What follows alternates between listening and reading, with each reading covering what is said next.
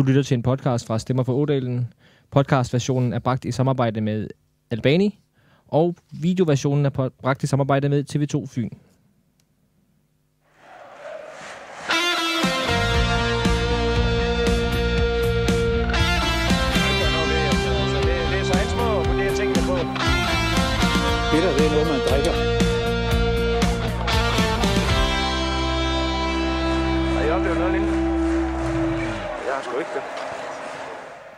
Der var lagt op til en Halloween-gyser af en topkamp på skrækbanen i Fredericia søndag eftermiddag, men med en markant 4-1-sejr tog OB revanche mod den onde ånd og tog endnu et skridt mod oprykning til landets bedste række. Et år efter pokalfedagen i Fredericia, der ser meget altså lysere ud for OB, men der er stadigvæk et stykke vej til det forjættede land i Superligaen, og på lørdag venter der en ny topkamp på stadion i Odense. Der er med andre ord nok at tale om i den her udgave af Stemmer Fodalen. Mit navn det er Martin Davidsen, og nu vil jeg præsentere de tre gæster, som er her i studiet i Kotteskade. Og vi gør det som altid med et spørgsmål, en af gangen. Og den første, jeg vil sige hej til, det er, det er dig, Jonas Knudsen. Velkommen til. Tusind tak. Hjemvendt fra Fredericia. Hjemvendt fra fronten. ja, du var over og liveblogger derovre. Øh, kamp ender jo 4-1 til OB, øh, den her øh, topkamp i første division. Var det det rette resultat, når man sådan tænker på spil, chancer og styrkeforhold und so weiter? Øh, styrkeforhold, ja. Øh, spil og chancer, nej. Ikke, ikke på dagen her. Der var, øh, der var, jeg synes, der var et rigtig godt Fredericia-hold på banen. Øh, det var en af de kampe sammen med Horsens ude, hvor jeg, hvor jeg, hvor jeg følte, at jeg så OB blev matchet mod et, øh, et hold, der havde en idé om, hvordan de ville spille, og også havde noget kvalitet på nogle forskellige positioner, der gjorde, at OB blev, blev udfordret, og det var jo også Fredericia, der kom frem til de fleste afslutninger, og, øh, og også havde bolden mest, var det hold, der, der dominerede med bolden, hvor OB så måtte øh, ty til nogle andre midler for at blive, blive farlige kon- mm. kontraspil, øh, høje erobringer i, i Fredericias også nogle gange lidt satset udspil, og så, øh, og så dødbolde. Så, øh, så på den måde, så, så ender det jo 4-1, fordi OB scorer fire. Fire gange. rigtig, ja, og, rigtig fine mål jo. Øh, så, ja. Så selvom der er nogle afretninger og sådan noget, så selve de sekvenser, hvor de scorer, er fine. Så øh, ja, det, det skal man jo også kunne, og jeg synes forskellen på de to hold, det var, at OB var det mest topholdet af, af de to tophold i det her topopgør. Mm. Okay. Du øh, er jo skribent, redaktør, podcastvært med mere. Blandt andet her hos os hos Stemmerfordalen. Og på torsdag, der skal du lave Identitet OB med fokus på spillestil. Ja. Glæder du dig? Jeg glæder mig ekstremt meget, især fordi det er jo et, øh, et rigtig, rigtig godt panel, vi har fået sat, det er et fedt hold. sat op. Det er, det, er et, det er et rigtig godt hold. Ja. Det er blandt andet med Kjeld Bordinggaard. Lige og, præcis, øh, Kente Møller P. Ja, og så selvfølgelig Søren Ulsen. Ja. Jeg glæder, jeg glæder mig også til, og dig selvfølgelig som vært, jeg glæder mig også til at høre den, når den engang er ude. Øh, og tak fordi du er med her, Jonas. Vi skal snakke rigtig meget OB og kampen her senere. Det næste, vi byder velkommen til, det er dig, Daniel Lærke Ramming. Velkommen til. Mange tak. Nu skal vi ikke tale om det her i dag, men jeg skal alligevel lige have den med, øh, fordi øh, vi, jeg sætter lidt fokus på det i TV2 Fyn, skriverierne i ugens løb omkring det her kontraktudløb øh, i OB-truppen. Der er jo seks spillere fra førsteholdstruppen, der har kontraktudløb til sommer. Det er Tobias Slotsager, Nico Mikkelsen, Bjørn Poulsen, Max Finger, Mihailo Ivancevic, Alessandro Mané og øh, Elias Hansborg. Og det er vist endda mere end seks, det er syv. Kom vi godt fra start. Øh, tror du, at øh, der er nogen af dem, der forlænger? Ja, det er jeg helt sikker på, der er. Men øh, hvor mange det lige er, det er jeg meget tvivl om. Altså, der er jo, der er jo nogen, der, har, der helt øh, entydigt har vist, at øh, det bliver svært at forlænge med dem. Altså, ellers havde man jo nok forlænget med Slots allerede. Max Finger har givet udtryk for, at han nok gør den på noget andet. Øh, en, øh, Nico Mikkelsen har været ude og udtale, at, at han gerne vil forlænge, men med, eller i hvert fald, at der, bliver, der er nogle snakker, der allerede er gået i gang. Så, så det er måske en, der så peger modsat den anden vej. Jeg, jeg synes, det er, det er svært at sige, hvor mange der præcis øh, kommer til at forlænge, også fordi jeg sådan en som, øh, som en som Paulsen, det er nok en, man venter med til aller sidste øjeblik. Øh, fordi man gerne lige vil se, hvor, hvor driftsikker han er, og om han stadigvæk har et niveau. Øh, og sådan kan man jo egentlig tage dem enkeltvis.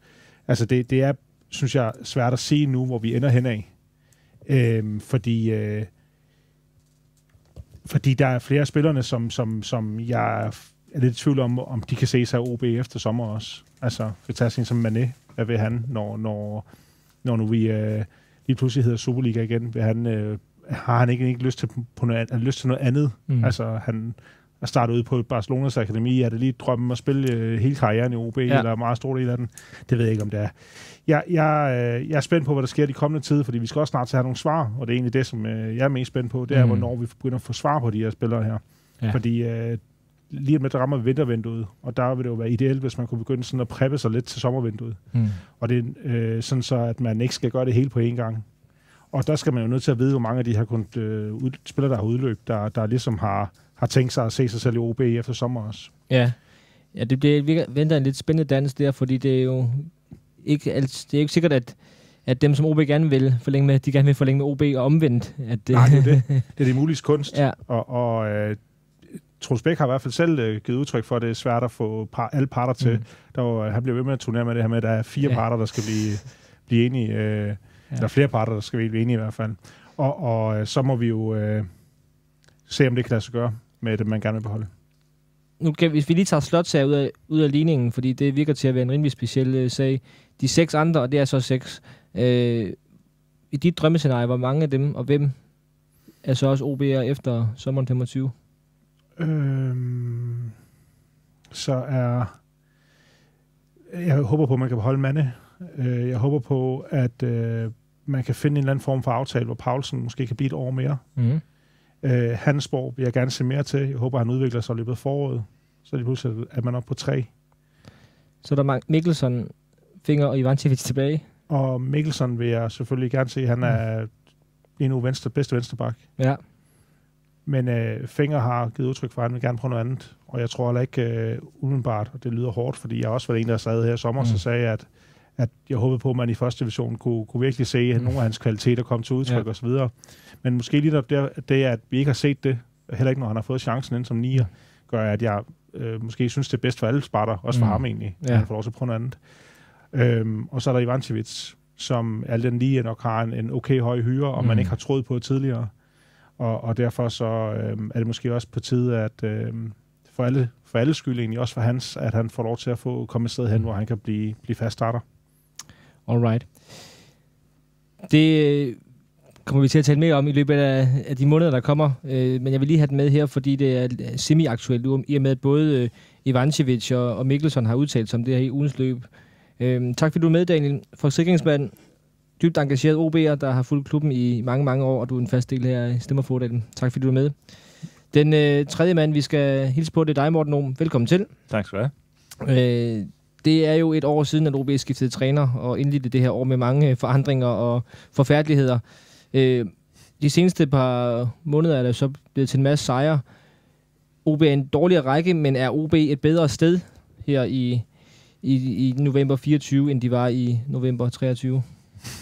Ja, det er et godt spørgsmål. Det skal vi jo tale om senere. Ja, det er jo det. altså, hvis du... Du har den her første divisions boble nedover, som gør det svært. Mm. Øh, men jeg tror sådan...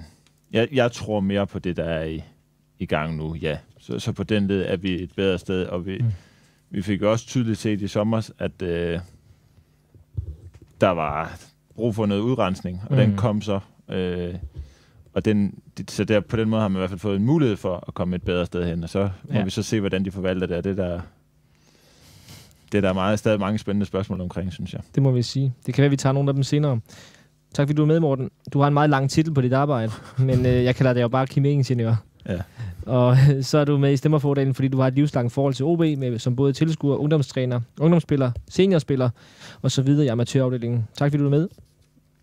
Den udsendelse her, den er bragt i samarbejde med Albani, og øh, det er på podcastniveau. På videodel, der er det altså TV2 Fyn, der er partner, og TV2 Fyn, de bringer et uddrag af Stemmerfordelen hver mandag aften resten af 2024, øh, altså i de gode gammeldags øh, Flow TV. Man kan se lidt, øh, lidt udpluk her, hvis man ikke kan klare øh, halvanden øh, time, eller hvor meget vi nu op, når op på her søndag aften. Vi har brunsviger på bordet, og øh, der er også en kniv, og der er lidt uh, køkkenrulle, Jonas Knudsen, nede ved dig, tror jeg. Uh, så hvis I lige vil servere den slags, uh, imens det er jo det, vi lige gerne vil have at spise, når, når OB har, har vundet. Jeg var på jagt her øh, søndag aften. Den er svær jo. Det er stærkt fundet, faktisk. Det synes jeg. Og det, og det var selvfølgelig på Albanigade, jeg fandt en. Så det passer, der, på den Ah, måde, så det- hænger, det hele jo sammen. Det er meget, meget smukt. Vi har et rigtig godt program foran os. Øh, Vi skal tale om OB's sejr over Fredericia. Vi skal uddele ugens Hø og Hemmingsen. Vi skal tale om OB's forvandling det seneste år, som vi var inde på. Og så skal vi også se frem mod næste uges øh, topkamp, hvor OB jo altså møder AC Horsens. Velkommen til programmet.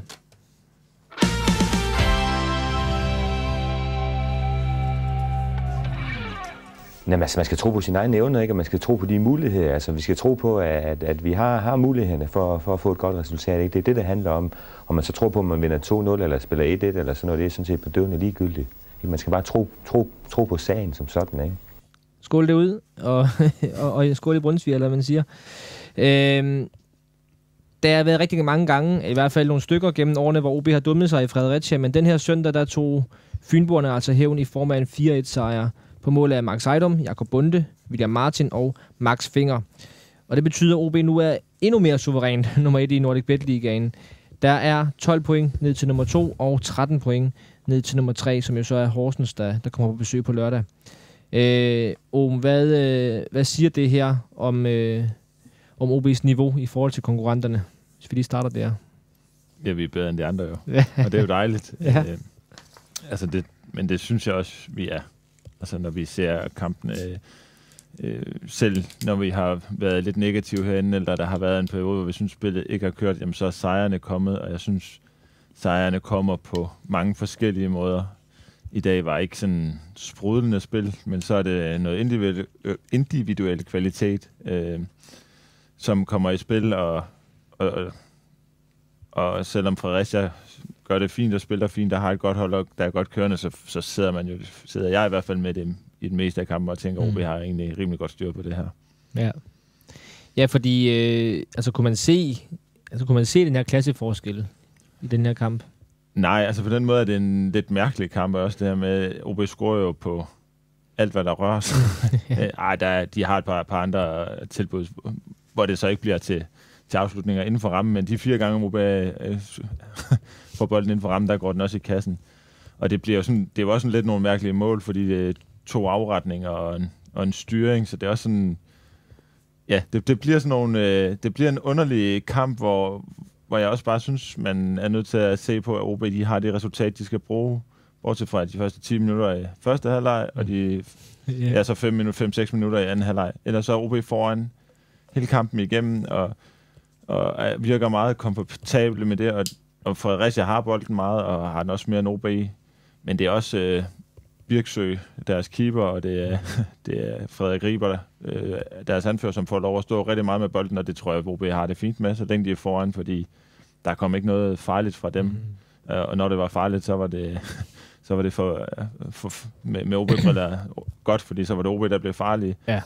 Så, så jeg, tror, jeg, jeg, jeg tror egentlig, OB har en eller anden for- fornemmelse af, at de er i, i fin nok kontrol, øh, har styr på, hvad Fredericia vil, og vi, vi får ikke rigtig brug for at se klasseforskellen, fordi da Fredericia så udligner, jamen, så går der 5-6 minutter, og så scorer OB igen, og er det så, Mm. fordi de skruer tempoet op? Det er svært at sige på så kort tid, men, men, men så lukker de jo kampen relativt hurtigt derefter, og så igen, jamen, så, så bliver det sådan rimelig på cruise control, så jeg synes ikke, det er en, hvor, en, hvor man sådan spillemæssigt, som det var i den anden kamp mod Fredericia, hvor man sådan er klart bedre end dem, øh, spillemæssigt også, men der er bare styr på det øh, langt Ja. det meste af kampen. Ja. Daniel, du havde en... Øh, en Ja, men øh, Om han når selv at sige det, det, det jeg synes jo, at øh, man godt kan ane, i hvert fald, at der bliver skruet til 1-1, at der ligger, øh, der er det som om OB, de lige kan skrue, et, har, har et ekstra gear. Altså Mm. de kan på en eller anden måde, ligger de lidt højere i trykket, altså i presset, de går længere frem på banen, og det er jo også det, der skaber målet til 2-1. Det Ja. ja. er jo ligesom, man, man fremprovokerer den her fejl, hvor man får lagt sit pres rigtigt, hvor han så ender med at lave, nu kan jeg ikke huske, hvad der er spillere, der laver afleveringen over til midterforsvaren, men, eller forsøger på det, men hvor, hvor øh, man prøver at lave sådan en has- hasarderet aflevering på tværs, hvor Bunde så kom, igennem, kom imellem. Men det kommer jo altså på baggrund af, at man har skruet op for tempoet. Mm. Og det er der, hvor jeg synes, man ser signalerne til, at man har et, en siger klasseforskel, men man har et niveau, der lige er en tand højere. Ja, Det er, at man har den evne til, at man kan skrue op for tempoet. Det så jeg ikke, Fredericia kunne presse altså OB på samme måde. Mm. Øhm, og, og det synes jeg er det største tegn på, at der alligevel er en eller anden form for, for niveauforskel fra nummer 1 og 2 i den række her. Jonas, du så det jo fra første parket, havde jeg sagt. Øh, Ja, det gjorde jeg, og jeg havde også fornøjelse af at have, have Thomas Dalslykke med Øh, og, og både i pausen og i løbet af kampen og, og i bilen på vej hjem snakkede vi meget om det her med netop den her situation, hvor, hvor, hvor Frederik Riber øh, og øh, Fredericias forsvar i det hele taget står med bolden, og OB står relativt højt. Det sker rigtig mange gange i kampen, og så bliver det for Fredericia alt eller intet, når de slår den der bold mm. op på en 8 eller en 9, en 9 eller kantspiller, der falder ned. Men det bliver også lidt alt eller intet for, for Ja. OB på den måde, at når først Tribul bliver overspillet, så er der rigtig meget plads til Fredericia. Der var det så bare der, at, øh, at, at deres kvalitet, ligesom jeg synes, det var tilfældet i, øh, i hjemmekampen, at når de fik, Fredericia egentlig fik spillet sig igennem OB, så manglede de kvaliteten til at gøre det rigtig farligt, fordi der var, der var så mange situationer, hvor de får vendt, vendt op i banen, og egentlig kun har OB's øh, bagkæde øh, øh, tilbage og skulle, og skulle udfordre, og så får de ikke rigtig gjort det. De får måske spillet for bredt og mister tempo, eller, eller, eller, eller der er en dårlig aflevering eller sådan noget. Så, så Fredericia, altså et bedre hold, havde, øh, havde kunne udnytte, øh, udnytte det her, de her momenter, der var i kampen bedre. Mm. Øh, så, så OB, øh, synes jeg også, havde meget sådan, øh, spillet med, egentlig med relativt høj risiko, selvom det ikke altid så, så sådan ud. Mm. Og så har jeg lyst til at give trøstebamsen til, øh, hvis vi har sådan en til, øh, til, til, til hvad hedder han, Birksø. Øh, Fredericias målmand. Ja, målmand, fordi det, det, er jo, det, er jo, det er jo tavligt at møde op på arbejde en dag, og så få fire nøgleopgaver, og, og du har ikke en chance for at løse nogen af dem. Altså, det er Ejdom, der sparker op i, op i krogen, som vi, øh, som vi er vant til, og så, øh, og, og så de der afretninger. Mm, altså, han har jo ikke haft en chance ja. for at sætte sit aftryk på den, øh, den kamp. Det må være bittert. Det er jo lidt en klassiker, som øh, Jonas bringer op her øh, i noget af det, han siger om det her med, at, at øh, bedre hold havde så gjort, at det ikke blev sådan her. Altså en bedre modstander end OB, hvis jeg var overfor i dag. Øh, hvordan har du det med den, den, øh, den måde at anskue tingene på, som, som tit bliver bragt, øh, bragt op i den her sæson her, hvor, OB jo spiller på, på den anden klasse? Jeg vil gerne lige nuancere den, inden, Ja, inden du får lov at svare, ja. fordi at jeg, jeg, jeg snakker også om det her i, øh, i Roskilde-kampen, Ja, og at OB's bagkæde faktisk var rigtig god til at håndtere de her situationer. Så, så det, det kan også være et aspekt i det, at, at OB's bagkæde er blevet mere tryg til at mod, øh, i at modtage de her øh, løb ned mod sig, og, og når modstanderen ligesom har overspillet midtbanen, fordi det har været, det har faktisk været et problem også i alle dagene, det her, øh, men når midtbanen, midtbanen bliver overspillet, så, så relativt nemt. Ja, Jamen, ja, på en eller anden måde er det jo sådan lidt en... Altså, når han nuancerer det her, det er jo fint, det er ikke det, men, men det er jo det, som folk gerne vil snakke om også, at, øh, jamen, at, at de her 11, er de klar til Superligaen, og ja, hele den her diskussion, jamen, hvad hvis vi møder bedre hold, men det gør vi ikke.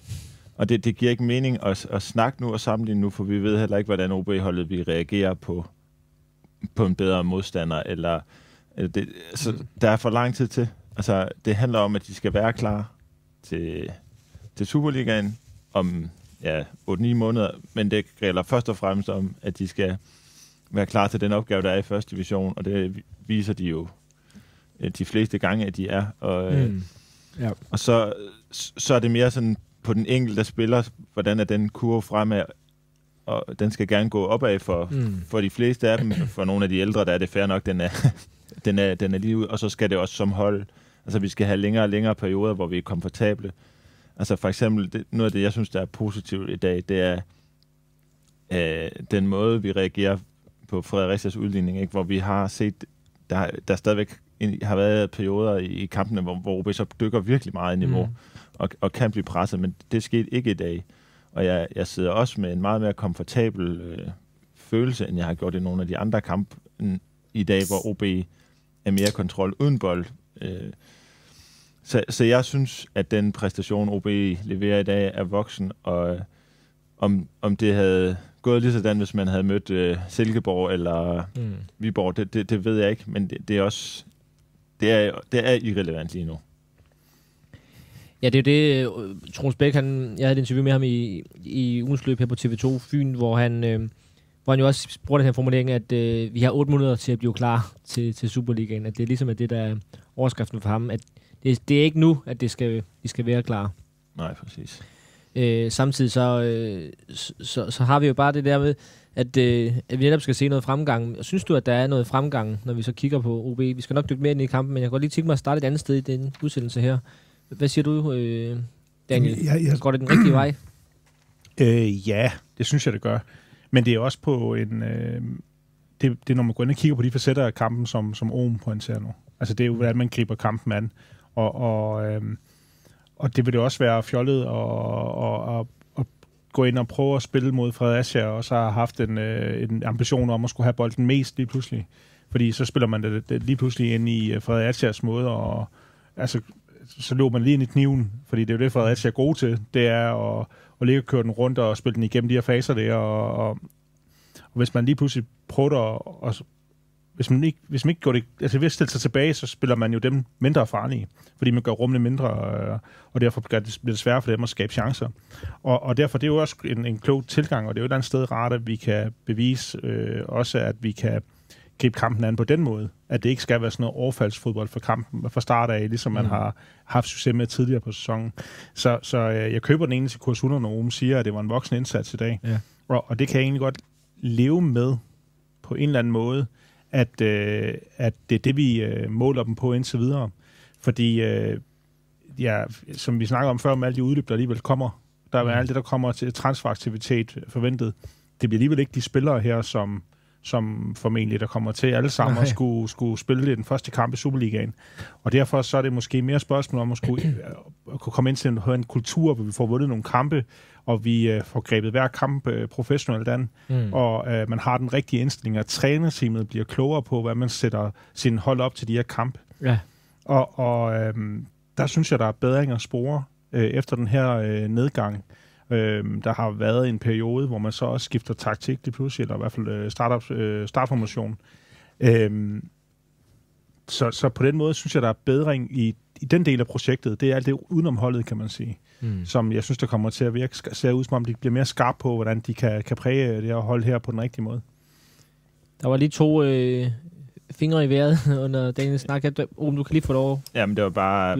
Jeg, jeg, han nåede lige at berøre det lidt, men, men det her formationsskifte til 4-4-2 diamant, mm. det synes jeg har givet noget mere sammenhæng i OB-holdet, lidt mere tryghed, for jeg synes noget af det, der har fungeret rigtig dårligt i perioder, det er presspillet, hvor man netop har knækket, gået meget højt op, og så de 3-4 forreste knækket fra, og så har dem, der så er tilbage som central midt, de har skulle dække et, et kæmpe stort område. At det, det virker noget mere afstemt nu.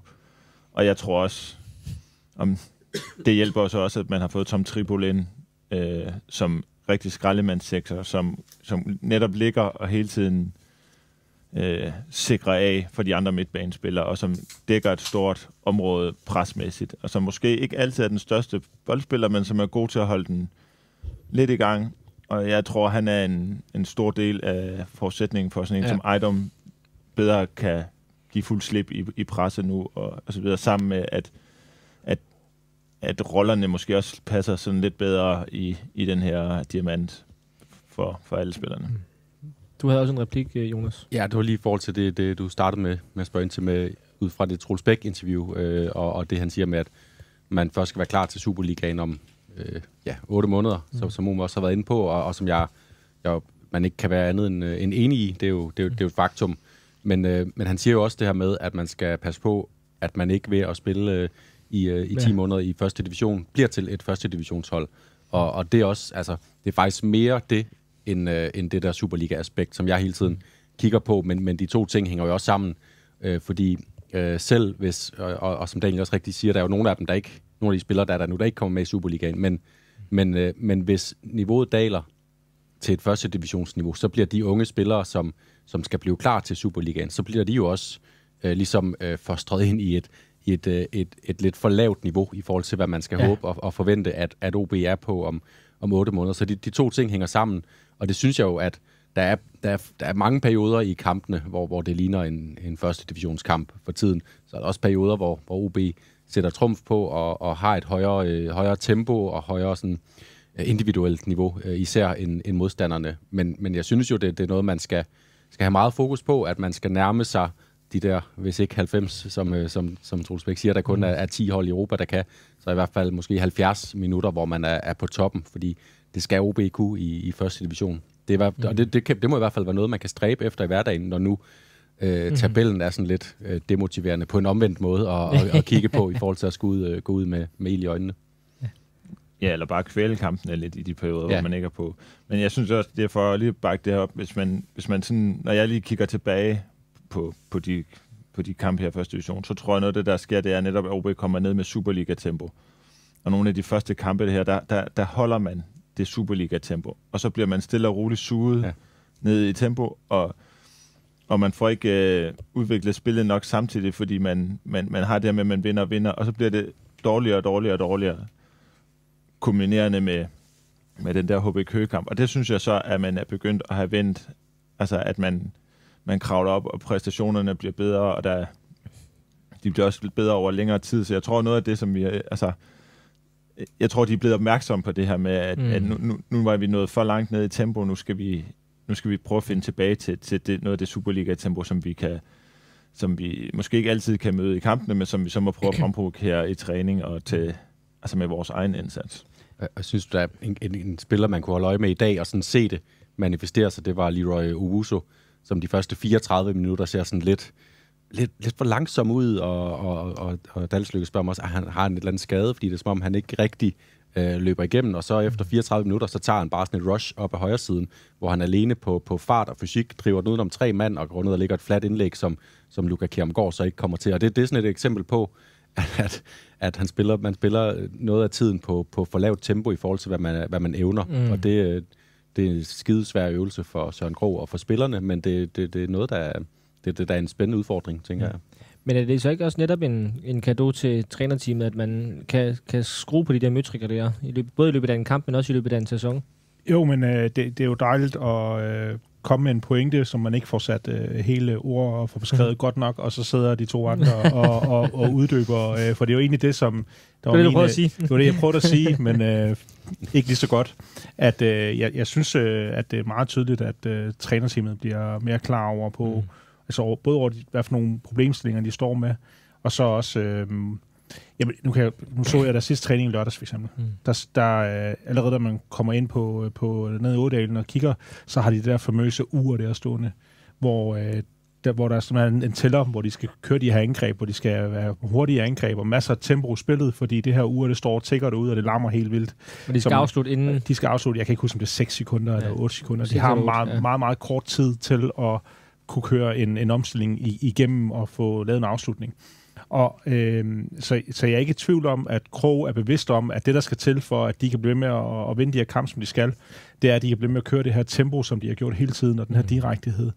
Og, og øh, så, så det, er, det er egentlig bare for at understrege. Jeg tror, at trænerteamet de er bevidste om det. Jeg synes også, det er meget tydeligt, at de er blevet bedre til også under kamp, de skifter for eksempel i dag, øh, der skifter de ved 2-1-målet, ja, øh, hvor William Martin kommer ind i stedet, hvor man ligesom reagerer på en måde lidt tidligere, eller med det samme faktisk, mm. på den her udligning.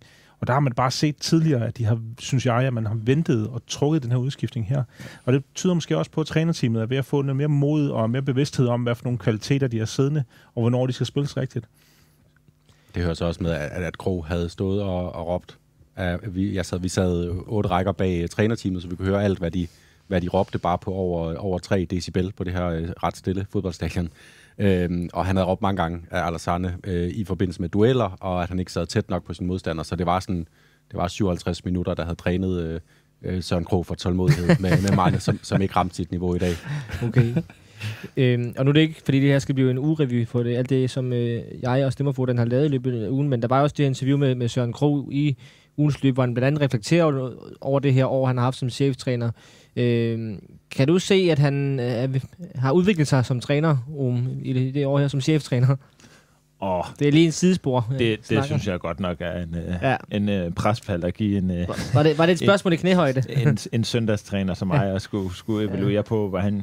Altså, der, det, der er svært med Søren Kroh, det er jo, at han kommer ind som en uerfaren cheftræner, og det er mm. jo fair nok men også i en periode, hvor det havde været svært for alle, og hvor, ja. det, hvor det falder fra hinanden med spillere, der ikke vil spille, og det ene og det andet.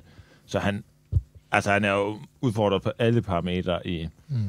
i foråret, og jeg synes, at vi i foråret kan, kan sige nogle kampe også, hvor man siger det inden, altså hvor han, hvor han er for langsom til at tage nogle mm. beslutninger, når han så tager dem, så er det, så er det de forkerte, han har mm. taget og sådan noget. Så, så, så han har haft en rigtig svær start som cheftræner, men det er jo også, altså, det er jo 100% fair, fordi ligesom at når der kommer nye unge spillere ind, som skal tage et nyt mm. ansvar og tage et skridt op, så skal chef, en ung cheftræner jo også have, have lov til det i sit første job.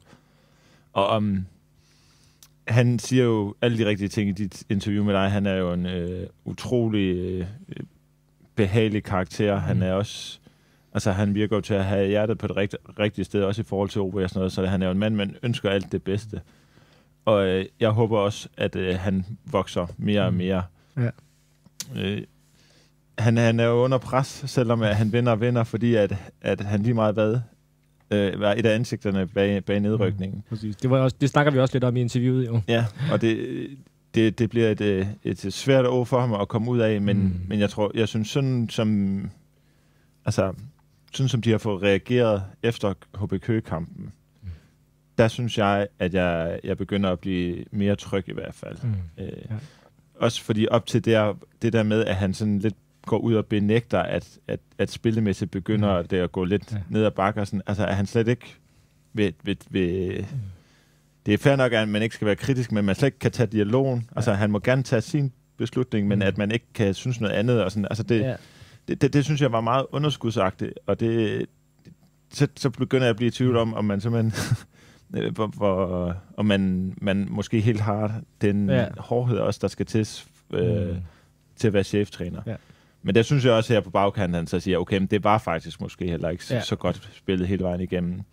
Så jeg håber, at han bliver ved med at bokse, og så, øh, så bliver han også en helt rigtig cheftræner for OB. Jeg, jeg tænkte faktisk på, på, lidt på dig undervejs, jeg snakkede med ham, fordi øh, han netop får fortalt, hvor, hvor meget han egentlig brænder for OB i det. Og jeg kan huske dengang, Jakob Mikkelsen for mange år siden blev fyret, øh, og hvor vi snakkede om den næste OB-træner, og du sagde, at du vil bare gerne have det blive en OB-træner. Og Ja. det, det har vi vel fået i Søren Kro. Jamen, det, det synes jeg jo langt hen ad vejen, vi har. Mm. Øh, og det er også nogle gange, når vi skal sidde her og snakke, så det, jeg synes, det er ubehageligt, det der med at skulle Mm. sidde og snakke om, om folk skal fyres og det ene og det andet.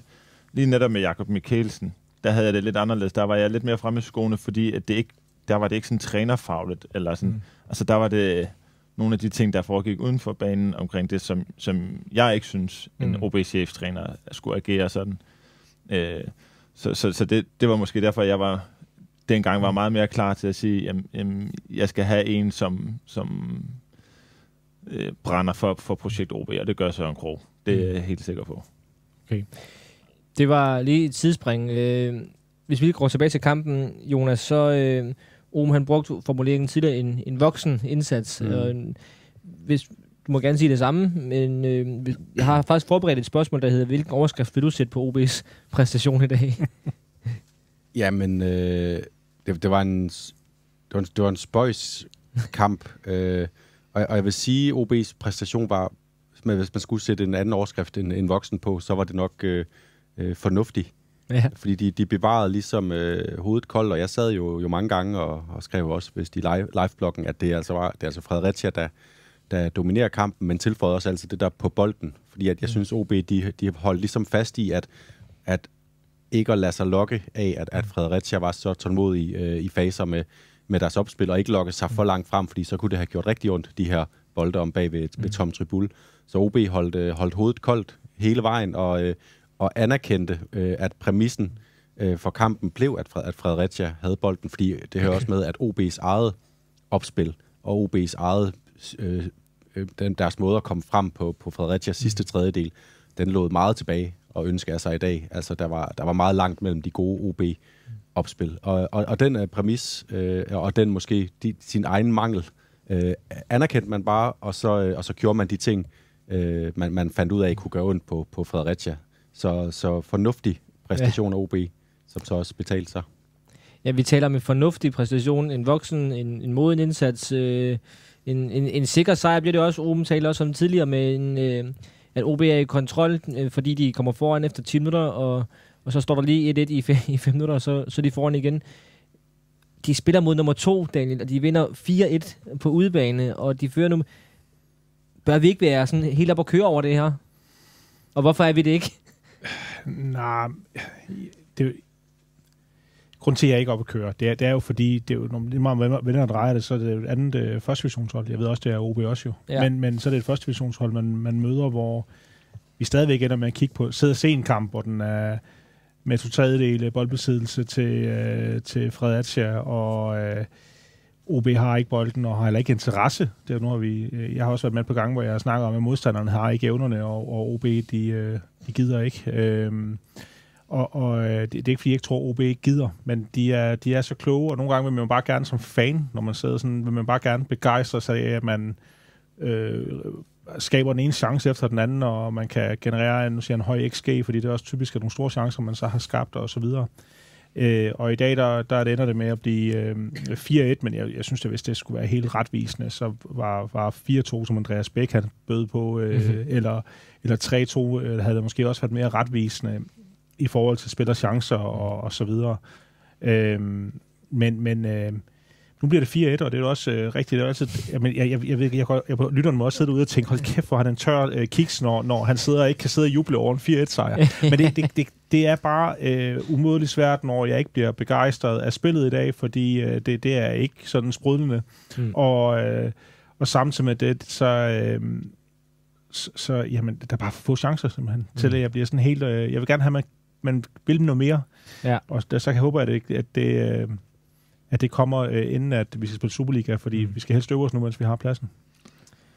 Men, men hvis vi lige skal glæde os lidt, så, så, var det, så, så, så var det jo faktisk, synes jeg, det var lidt vigtigt i dag. Ja. Altså ikke sådan jo måske 1001 vigtigt, men, men, men det her havde man nu tabt i dag, mm. så skulle man ud til den Horsens kamp næste gang, hvor...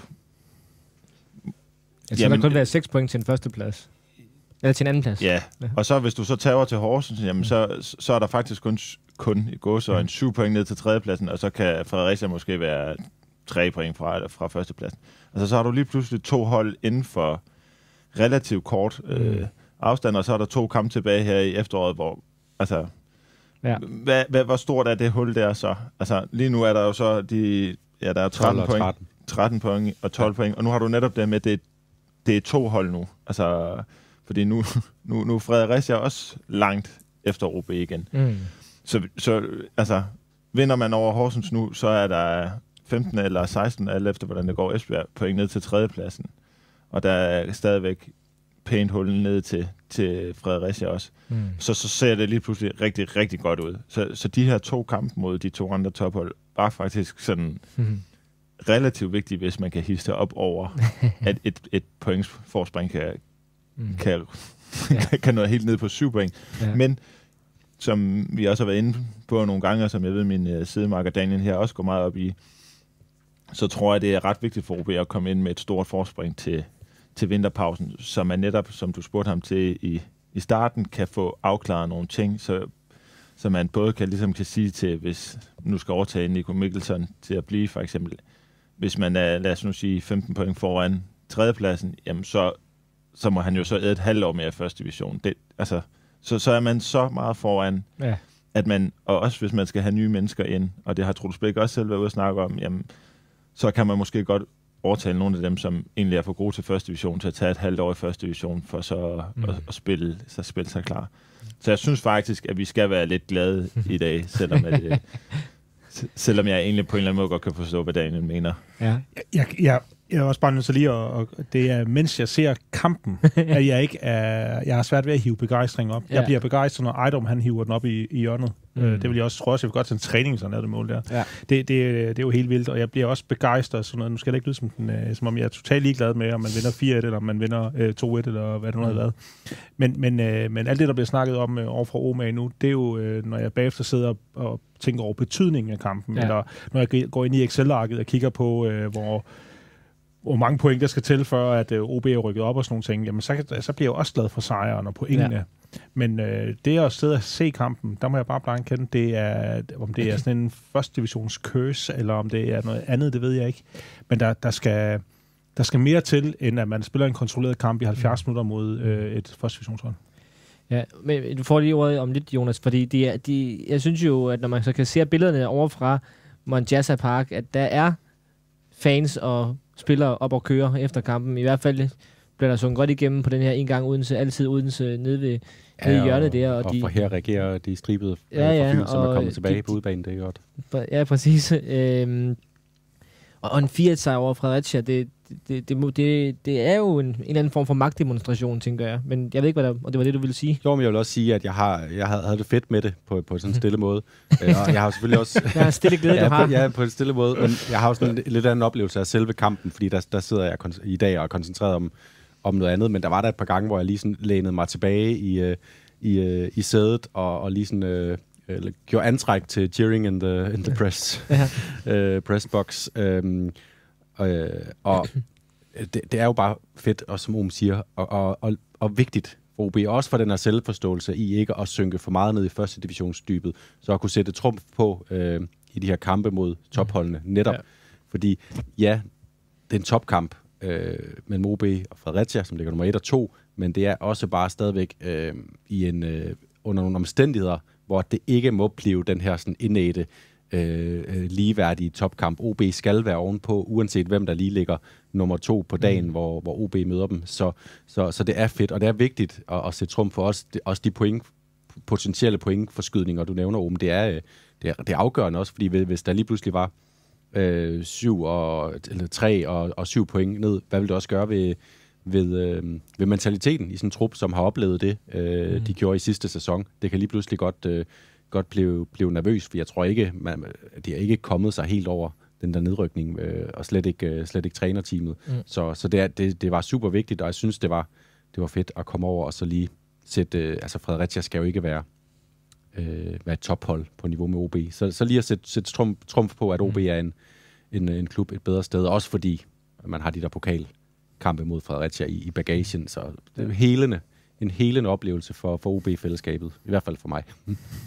Så, så, så synes jeg også, at øh, hvis vi skal finde flere ting, vi skal glæde os over. Altså, det er også, vi skal også glæde os over at se nogle af vores egne unge drenge. Altså, ja. vi skal glæde os over, at, at Max Ejdom er, der er fuldstændig ild i ham for tiden. Altså, han, han hiver den der op i krogen. Det er vanvittigt mål, ikke? Men jeg, jeg glæder mig også over William Martin i dag. Altså, øh, jeg synes ikke, Martin spillede nogen store kamp, så jeg kan godt forstå, at han blev skiftet ud, men jeg sad der sådan lige og tænkte, puha, det var sådan lidt frisk, også fordi, hvor længe, altså Tribul, han havde, synes han lænt sig op af et gult kort i 90 minutter i dag, uden han nogensinde fik det, men sådan, det var, det var også ligesom, de fire, vi havde på midt, midten i dag, det var jo de fire rutinerede kræfter, der var. Og så tør man bare smide William Martin ind, og så kommer han og viser noget af det, han kan. Han får lavet nogle fine ting midt på banen også faktisk, og holdt fint fast i bolden, og så får man bare set, at han kan altså afslutte den dreng der. Jeg ved godt, det er helt vildt. Jeg ved godt, at det første mål, den bliver rettet af, og målmanden er chanceløs, men det ser stadig, altså det er en svær bold, han sparker til der. Ja, og vælger at flugte på den. Altså ja, sådan. og den, den, den er på vej. Altså jeg tror, jeg den tror er også, på vej ind. Jeg tror også, den går ind, hvis der, den ikke bliver rettet af. Og den han, altså han, den der cutback, han så får, han bliver Det er altså hævet også godt lavet. godt og grundigt ned, og han får altså smæk på den der. Og jeg tror også fra den ene vinkel, og det vælger jeg bare at tro, fordi det, der, er ikke, der er ikke vinkler, der kan modbevise mig, men den tror jeg også stryger ned i det, i det lange hjørne, hvis, hvis Max Fenger ikke øh, Han styrer, kan altså styrer den derinde. score mål ham der. Han, han, og det er bare, det glæder mig også. Altså, så, så, så, så kan det godt være OB ikke sprudle, men det er fedt at se de der Så hvis vi lige skal øh, snakke mere om William Martin, det, det, det kunne jeg næsten gøre en, en hel aften, tror jeg. Ja. Øhm, fordi øh, at, da han, en ting er, at han, kan, vi ved jo, at han kan score mål. Det har han jo gjort øh, i spandevis på, på de der uhold, det har han været med på. Men nogle af de ting, jeg så i dag, som jeg var glad for, øh, han har fået med ind i seniorbolden, eller fodbolden, det er nogle af de ting, han laver, hvor han har sidelinjen i, Yes. på ryggen, hvor han, øh, altså han, altså flere gange, hvor de prøver at gå på krop med ham, hvor de ikke kan komme ind på ham, fordi han, han glider af på dem. Han har flere gange, hvor de er to eller tre mand, der går på ham, hvor, hvor han laver nogle, altså bare nogle små kropscenter, hvor de, hvor de altså flyver rundt, og så har- ligger han den videre. At det der, det, Han har den ned ved- som, som venstre bak, hvor han Ja. står med ryggen til, og hvor man tænker, ah, nu kan det godt gå lidt galt, lås nu bare væk. Og så vender han en gang mere, og så kører han lige ydersiden øh, hen til, til gruppe i stedet for. Ja. Altså, hvor, hvor vi jo snakker om en ung fyr, der kommer ind i Esbjerg-kampen og siger, puh, det er godt nok nogle voksne ja. mennesker, jeg lige pludselig slås med, og man kan se, nu Ja. kommer det stille og roligt og, og bygger på, og nu er han vant til, at de kommer med, Mm. med 120 i timen. Og der er et godt stykke vej nu, men øh, skridtene er der, og, og derfor så er det jo så vigtigt for... Altså, det er jo også et spørgsmål om held. Ja. altså sådan, hvis man nu skal tage lidt den modsatte case, så er sådan en som Markus Jensen, som står og banker på til at, at skulle starte inden, og, og som faktisk i mine øjne også ville være, have været fuldstændig skræddersyet til den rolle, som Ejdom spiller nu. Jamen, han bliver så lidt skadet på, på et uheldigt tidspunkt. Der har måske heller ikke sådan... Han har fået de der assist, men har ikke fået gang i den der målscoring der Mm. nu. Og der, der er bare sådan en som William Martin, udover at han sådan, så bedre kan ja, blive bedre og bedre i spillet, jamen så det der med, at du har de der målinvolveringer, han får scoret, jamen så, så løfter han sig lidt selv, og så glemmer vi også, glemmer nogle af de der småfejl, som er rundt Mm. omkring midt, midt på banen og sådan noget. Så Ja. Ja, fedt at se ham i dag. Jeg, jeg har næsten glemt det sideskift, han lavede på et tidspunkt. For eksempel over for, hvor han spiller den direkte Ja. til en kontra. Ja. Det har jeg næsten glemt, øh, fordi han så har alle de andre ting, ikke? Og, og det er jo fuldstændig ret i. En replik på William Martin, nu vi lige taler om ham.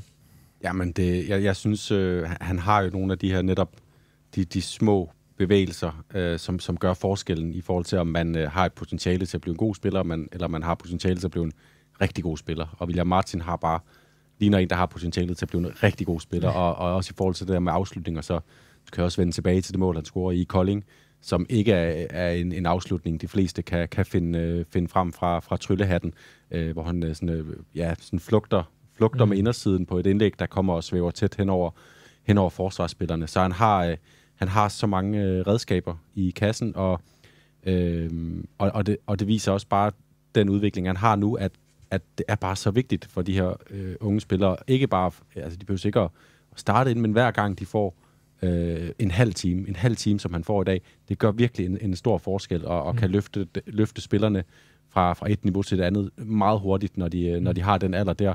Og, og, og det, kan man, det kan man jo bare se på ham. Overskuddet bliver, bliver allerede større og større, og også hurtigere, end det gjorde for, mm. for Max Ejdom, som havde en, en lidt længere indkøring i, i sidste sæson. Så ja. jeg glæder mig helt vildt til at se, hvor William Martin er, når vi snakker runde, runde 5, 6, 27 mm. i foråret. Enig, jeg, jeg er enormt spændende, og også en, en vindende personlighed, sådan han, øh, når man taler med ham, 17 år gammel, og, og har sådan lidt, øh, lidt slotsager over sig i forhold til sådan øh, umiddelbar øh, frisk, friskhed over sig, når han udtaler sig, og, og det der glade drengesmil, der, det, det er skønt at se, og så har han jo et fint efternavn, som vi kan se på trøjen, der, der er bag Jonas øh, Knudsen der, det, det er så fint.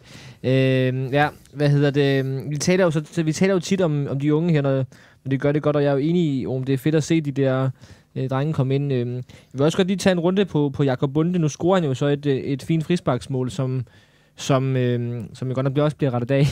men, øh, men det er jo en spiller, vi har haft lidt under lup her i Stemmer for Ådalen øh, på det seneste, og, og Søren Krog får også sagt i, i mit interview med ham øh, tidligere på ugen, at øh, ja, han er ikke heller ikke helt tilfreds med det der, øh, den udvikling, der har været de sidste par uger her.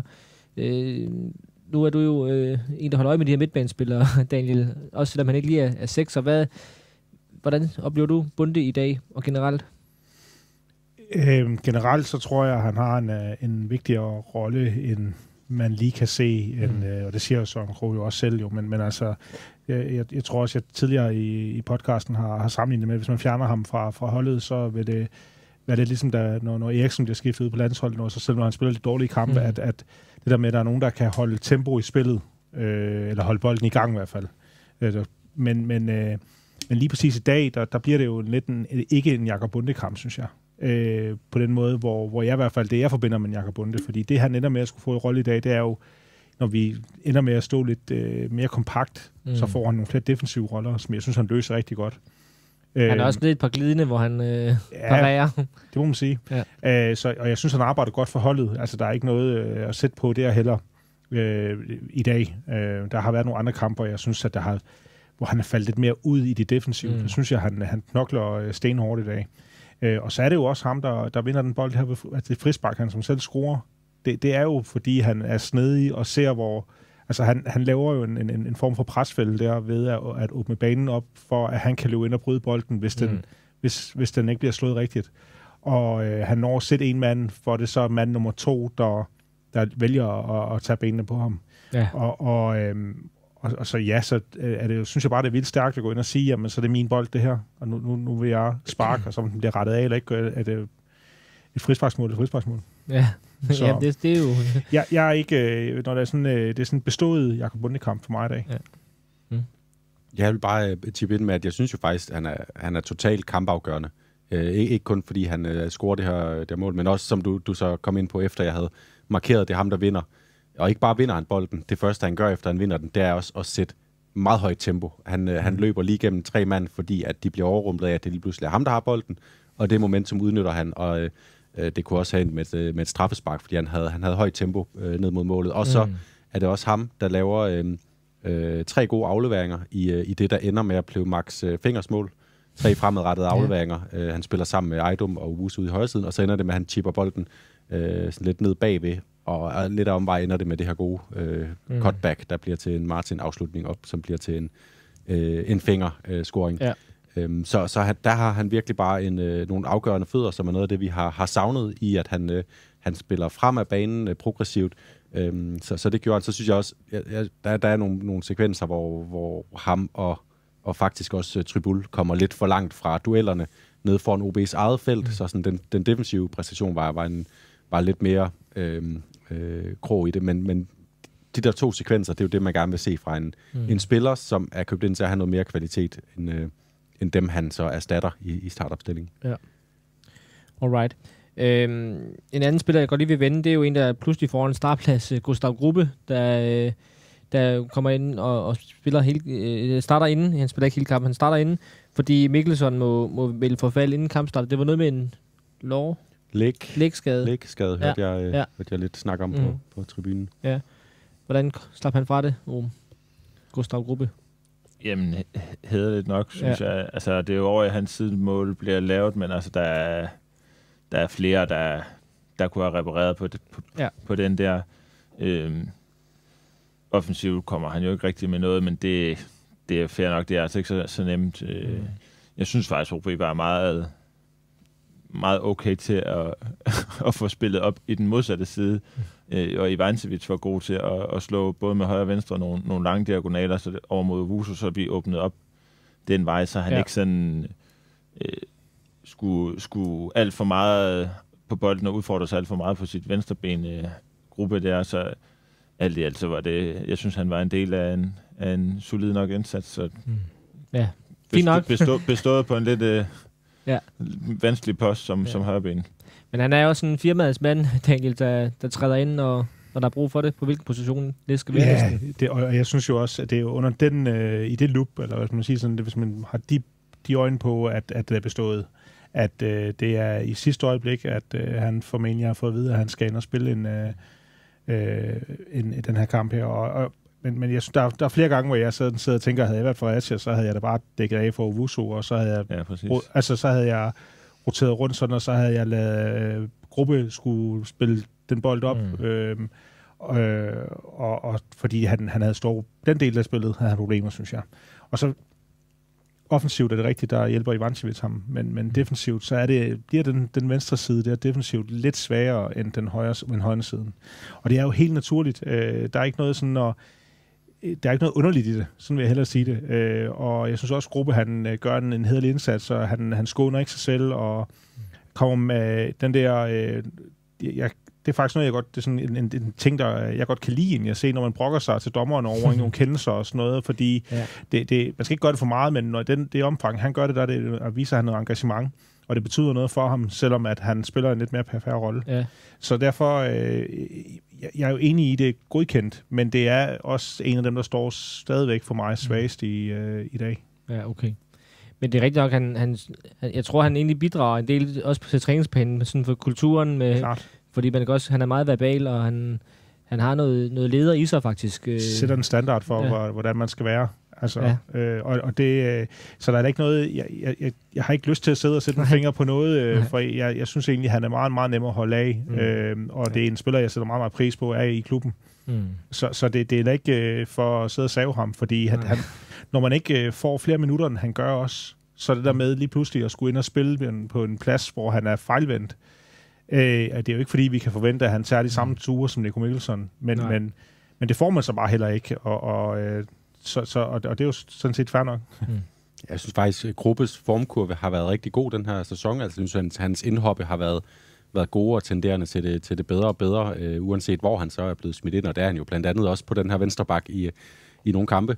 Øhm, men, øh, og- og jeg synes faktisk, at jeg, jeg vil gerne give stor kado til, til Gruppes øh, præstation i dag, fordi jeg, jeg er sikker på, at det har været et stort bekymringspunkt for, for OB-staben at skulle, at Ja, skulle miste Mikkelsen. Det er jo det med, der er ikke en venstrebakke i truppen jo. Så. Nej, og, og ikke bare det. Altså, så er Mikkelsen også en af de, dem, der har præsteret kontinuerligt på, på højst niveau, Mm. sammen med jo, med Bakmakkeren uh, Ja. I, i, i, OB-kampene i den her sæson. Så, så det er jo en, øh, det er et vigtigt våben, OB mangler, og, og at gruppe så går ind og, og løser det sådan... Øh, løser det, løser det udmærket. Det, det hjælper øh, rigtig meget, tror jeg, for, for sådan holdets øh, tryghed.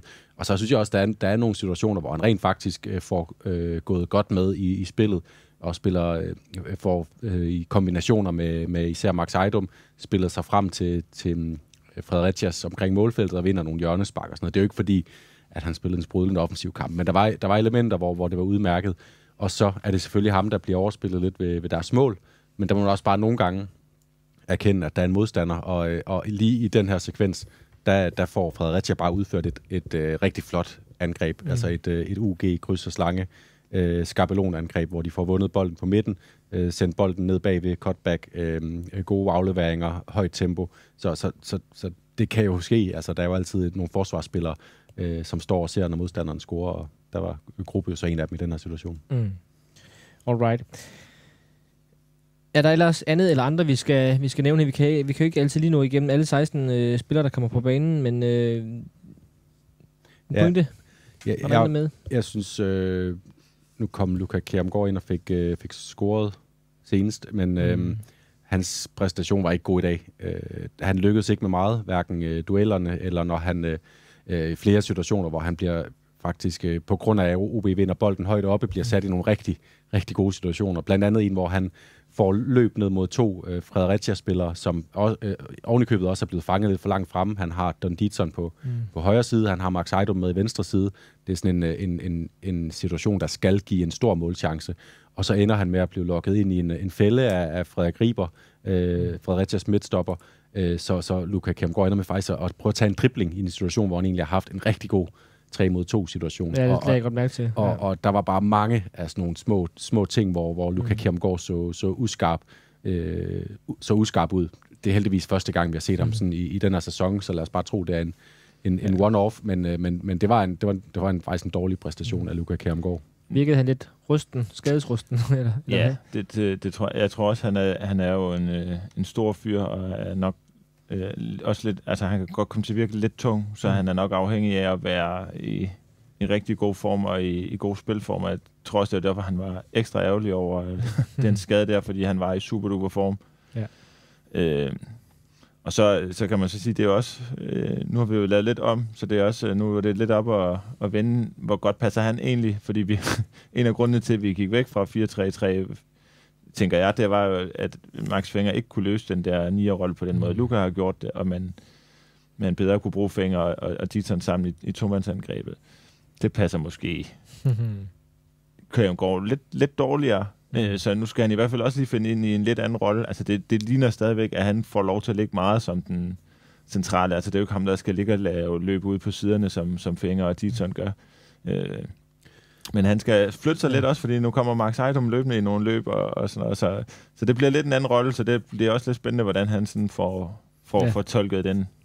Og han, han lider også rigtig meget under, at, at OB ikke får sat spillet på Fredericias, øh, på, eller på den sidste tredjedel, øh, i særlig mange øh, sekvenser af den her kamp, plus at der ikke kommer øh, lige så mange indlæg, som der har gjort, blandt andet måske fordi Mikkelsen ikke var med, og så blev det lidt nemmere at lukke ned for, for højre siden, hvor man skulle forvente indlæggene ville komme fra. Så der var udover det, det at han skulle spille i en tomandskonstellation med Don Dietzen, og de lå også og byttede lidt rundt, hvilket måske har, heller ikke har gavnet øh, Kjermgaard, øh, har gavnet Dietzen mere. Øhm, så, så var der nogle omstændigheder, der gjorde, at det, kunne- det kunne forklares. Øh, men, men ikke desto mindre, så var hans individuelle aktioner også øh, sådan lige under, Mhm. mm. under par. Nå, vi skal have kåret kampens bedste OB'er. Det gør vi altid efter en OB-kamp. Daniel, vil du ikke øh, komme med din nominering? Ja, jeg, øh, det var egentlig sådan, nogle gange, når vi sidder og laver de her nomineringer, så er der jo sådan en spiller, der lige øh, sådan Mm. stikker, stikker ud, hvor jeg sådan sidder og tænker, den er, den er helt indlysende. Og den, den har jeg altså ikke i dag. Øhm, så, så jeg har taget tre med, og så håber jeg, at, øh, at vi kan, vi kan Ja. hjælpes af. Ja. Øhm, og øhm, den, den første, det er, det er William Martin. Øhm, og det Selvom han på- kun får, hvad, 35 minutter? Ja, 35-40 minutter, så er jeg 35 minutter, hvis nok. Jeg kan ikke, øh, og jeg ved godt, det er lidt... Øh, men når man spiller 35 minutter, hvor man øh, går ind og, og er med til at og, og vende kampen lidt, øh, men som sådan, at man skaber nogle chancer, og man... Øh, øh, og jeg er med på, at den er, den er lidt tynd, men øh, når der ikke er nogen, der stikker ud, så, øh, så får han lov til at, at blive en af mine nominerede. Og så har jeg øh, Uvusu, og så har jeg Tribul som mine to andre. Øh, når jeg lige har øh, Owusu, så er det fordi, som det rigtigt bliver sagt tidligere, at han er, har måske ikke de første, den bedste halv, første halve time. Men jeg synes øh, nærmest alt det, der kommer offensivt, øh, det er han med til at skabe. Det er også ham, der laver afleveringen til Dietzson, hvor Dietzson han øh, lægger den videre over til Ejdom, hvor Ejdom så hakker den op i hjørnet. Øh, jeg, jeg synes, øh, at øh, han offensivt bringer rigtig meget, og så kommer de aldrig igennem i hans, øh, af hans forsvarsside. Mm. Øhm, jo, der er en gang, men det er fordi Paulsen han er fra Vildelse ud til sidelinjen. Ja, hvor den bliver sparket snært over nærmest øh, Ja. målhjørn der. Ja, og så øh, lige med, med Tribul, så er det fordi, øh, jeg, jeg øh, nu er det, så har- hænger den jo på mig, at jeg elsker sådan nogle sekser, mm. og jeg nyder at se ham spille sådan en. Ja. Altså, han, øh, der er ikke gået tre minutter af kampen, så har han lavet to glidende taklinger, som hver især, hvis det var de lavet 20 minutter senere, så har de fået, kunne de have givet gul kort begge to. Mhm. Mm-hmm. Og, og øh, det, øh, sådan en hård hund kan jeg godt lide, når det er vores hårde hund. Ja. Øh, og og øh, der er Tribul, han er ret nem at holde af. Og så får han den også en lille smule for det... Øh, han, han får en lille smule kredit ved mig også, ved at øh, han interviewede til optagt interviewet med dig, Martin, Mm. får sagt det her med, at, øh, at øh, han vil ikke rigtig det der med at øh, løbe meget og, Øh, og, og være... Running and fighting, det synes han ikke var... det, var, det var ikke... øh, Det var lige at negligere hans evner lidt, tror ja, jeg, han det synes. tror jeg, han også følte sig lidt Øh, ramt på det- stoltheden der. Og det kan jeg godt lide, når, når spillere har den her indre stolthed over, at øh, selvom han ikke bliver rost, så vil Ja. ja. han ikke tage den til sig alligevel. Nej, nej, det, var, det blev jeg også mærke i. Ja, så øh, det, det er lidt derfor, jeg har de tre... Ja. Ja, øh, Det var en grundig... Øh, ja det beklager jeg. De det, brugte det er noget helt der. okay. Vi kan jo lige sige, øh, folket, folkedybet på obstemmer.dk, livebloggen, som du skriver, Ja. Jonas, øh, der, der er 55, der har givet en, en stemme. Det er, jo, ikke- det er jo ikke så mange, øh, men øh, Ejdom, han får lige 43 procent af stemmerne. Det Ja. var også et flot mål. Det var også et flot mål. Ja. Men, øh, men hvem... Jamen, jeg, jeg vil også gerne bringe Ejdom ind i puljen, og så, så er jeg også blevet af en eller anden årsag Schweizer-uret her i, i foretagendet, så, så William Martin han fik 38 minutter præcis, Ja, ja. inklusive øh, tillægstid.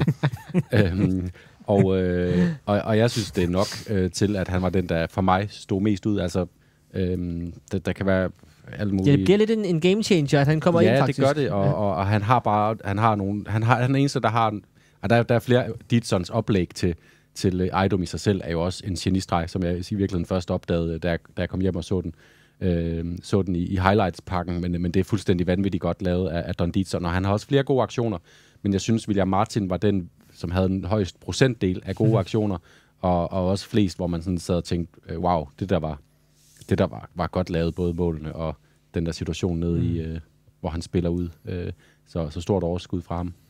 38 minutter, men et mål og en assist. Det, det er jo også Det er altså, udmærket. udmærket. Ja. Nå, um, hvad, hvor lander vi her? Jamen, jeg, jeg, jeg var egentlig mest på Ubuso. Og Ja. ja. øh, det er lidt som der blev sagt. Altså, jeg synes, de gange OB spiller sig frem til noget, så er det kvæg ham. Øh, Ja, han var et godstog, eller sådan en lyntog ja, derovre. han, har jeg. den, han har den øh, fod med i, i, To i ejendomsmål. Han har den, hvor han selv erobrer den, og så vælger at sparke og bliver blokeret. Han har den, hvor han lægger den ind til Luca. Mm. Så har han en, hvor ham og Ditton spiller Ja. ja. rigtig flot 1-2, Ja. og hvor, Skal Diton også score? Ja. hvor Ditton ikke lige helt rammer den. Og det er jo, det er jo faktisk de chancer, OB producerer, Mm. øh, hvis man ser bort fra, øh, fra dødbolde og så videre. Og samtidig, som der blev sagt, han er bare stabil defensiv. Så det var egentlig ham, jeg havde... Jeg tror, vi er jo blevet lidt forventet med, med Max Ejdom, ikke? Altså, han... For fire kampe siden, så havde det der helt sikkert været en mom-præstation, men altså nu, øh, nu er det der fight og en, en, et spark op i krogen, det er jo, det er jo hverdag, så Det- det, det det, er jo svært at pege på ham Ja. igen, ikke? Ja. Øh, Og det er dem på over 50, som om det er man of the match. øh. Så jeg peger på Uvuso, men jeg, så, så må du ligesom øh, trække Jamen, karakter hvem, her. hvem har vi nu? Det, det er Wusu, og det er William Martin og Tribune. Ja, eller jeg, jeg tror, det er Ovuso og William Martin, der er, Ja, det, er mest kærlighed Ja. omkring. det, det tror jeg også. Men jeg, jeg kan jo godt lide hipster, hipstervalget, så øh, kan vi ikke godt tage Wusu den gang her? Jeg var spændt Ja. på, hvem der var hipstervalg. Ja, det begge to, begge to Ja. kunne være det. Men, Ja, øh, jeg, jeg synes, han fortjener det også på det, altså det lange træk. Altså, han har måske fået for få. Mm. Øh, der var en periode, hvor jeg havde ham som mit forslag til kampen. Spiller nærmest hver gang, og det synes jeg stadigvæk godt, man, man kunne. Så Mm. Ja, han er god. Han er Ja. rigtig, rigtig god. Der er ikke, det er ikke altid de der baks for, for kærlighed nok, så den får Wusu den her gang.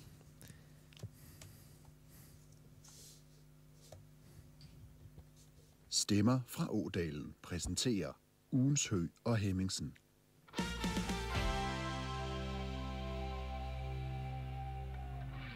den der kærlighed til min kone, det, er også, det kan jeg sammenligne lidt med, med OB også, for det har sgu heller ikke været lige nemt altid. Men, øh. Hvis det, hvis det, det sådan kom, så fløj jeg bare ned i ham. jo. Kom der bare 68 fuldstændig sindssyge kilo flyvende. Og ind i torben med, med, en, med en hovedstødsduel, hvor han en albu, jeg rammer med en albu, kan jeg huske. En af de første træninger, og han, han bløder for læben, og han bare peger på mig og siger, den får du igen. den er der alligevel, det banker stadigvæk jo for, for striverne. Vi er nået til ugens udgave af Hø og Hemmingsen. Og det er jo der, hvor vi giver noget kærlighed i form af en Hø, og vi giver en røffel i form af en Hemmingsen, og det gør vi for at hylde Lars Hø og brødrene Hemmingsen, store spillere i OB's historie, som øh, både kunne give noget, øh, noget, ja, noget kærlighed og noget øh, af det modsatte. og øh, det gør vi også her i programmet. Vi giver en Hø til nogen, der fortjener noget positiv omtale, og en Hemmingsen til nogen, der, eller noget, der fortjener det modsatte. Morten, vil du ikke øh, lægge ud? Jo, det kan jeg godt.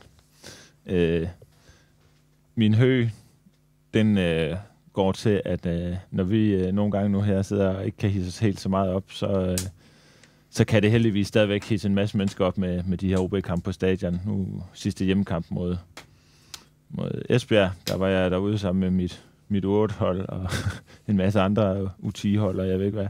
Det bliver ikke min nye yndlingsmåde at se fodbold på, vil jeg sige, øh, ned fra familietribunen der med sådan en flok skrigende, skrigende syvårige der, men de havde en fest, og havde det mega fedt.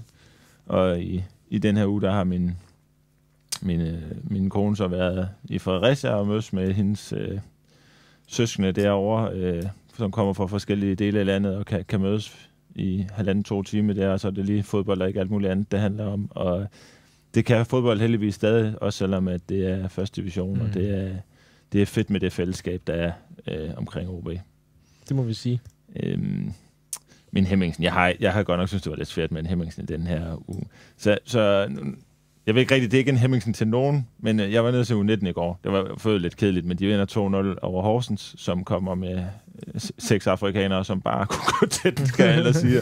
Så det var, det var en, bold, en kamp, hvor der bare blev losset langt, og så, øh, så blev der bare gået til den, og OB scorede så de to. Men der, der spillede Markus McCoy en rigtig fin kamp, øh, spiller alle 90 minutter på højre bak. Og det tror jeg, han er lidt ærgerlig over i dag, fordi øh, jeg tænker, at han måske, da Bjørn Poulsen går ud der, hvis han nu ikke havde spillet 90 i går, så kunne Gomes måske være rykket ind i midterforsvaret. Så var det måske McCoy, der havde fået mm. de der Ja. 5-10 minutter på, på venstre bak. Øh, Jeg må sige, jeg tror, at man havde en idé om, at, at Mikkelsen var tvivlsom ja, i går, okay. da man slutter førsteholdets træning. Så, så hvis, hvis man ville Ja. have bragt ham, så havde man nok... men han sidder alligevel på bænken i dag og spiller 90 i går. Ja. Så ja, De begynder at- gå ud til U19, altså forberede sig til U19-kampen under førsteholdstræning. Okay. Så de, jeg tror ikke, de kunne lave noget om på det tidspunkt. Ja, Det det- kunne også have skiftet Ja, ja, ham ud i pausen måske, men Det ved jeg ikke. Det, det, det er af. Bert Ladsgaard, han spillede så kun en team, så det var så ham, der kom Ja. ind og spillede i stedet for. Det var jo fedt for ham. Hansborg spillede også den der team, så han kunne også komme ind og bidrage der. Ja. Det, øh, nu, nu bliver det positivt, selvom det er en Hemmingsen, og det er sgu på en eller anden måde meget sjovt at sidde øh, dernede i Ådalen og se dem spille U19 i går, og så se, ja, nu nu skal de samme Ja. spillere så træde ind på, på, på første hold til, Ja, det er øh, om de kan tage det sådan step, så altså det bliver Ja, meget, det er meget konkret. øh, meget konkret, når man ser dem spille de der U19-kamp dagen før, og så skal de ind på, på den store scene, øh, Ja. ja. eller halvstore scene er det jo desværre kun Næststørste, ja.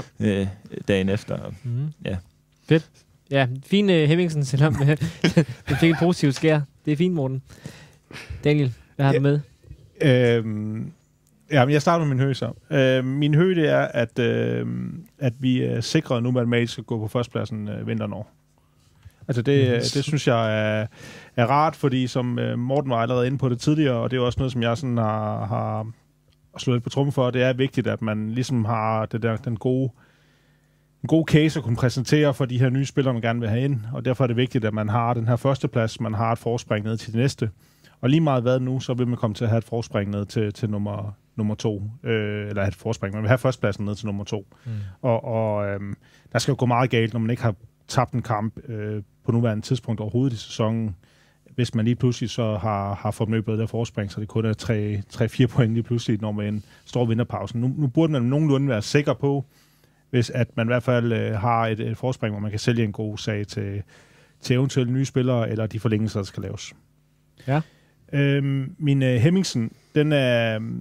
jeg havde samme problem. Altså, jeg kunne heller ikke lave en, øh, en Hemmingsen. Øh, jeg havde svært ved at finde den frem. Øh, Jeg synes, øh, øh, der har været nogle gode interviews løbet af ugen fra ledere, der har gjort mig tryg, og der har været... Øh, sådan generelt god stemning, og folk er på vej tilbage fra skader, og jamen, der er snart ikke sådan noget, jeg lige sådan kunne hive frem, så, så mit, det er sådan en, øh, en Hemmingsen. nummer 13 jo.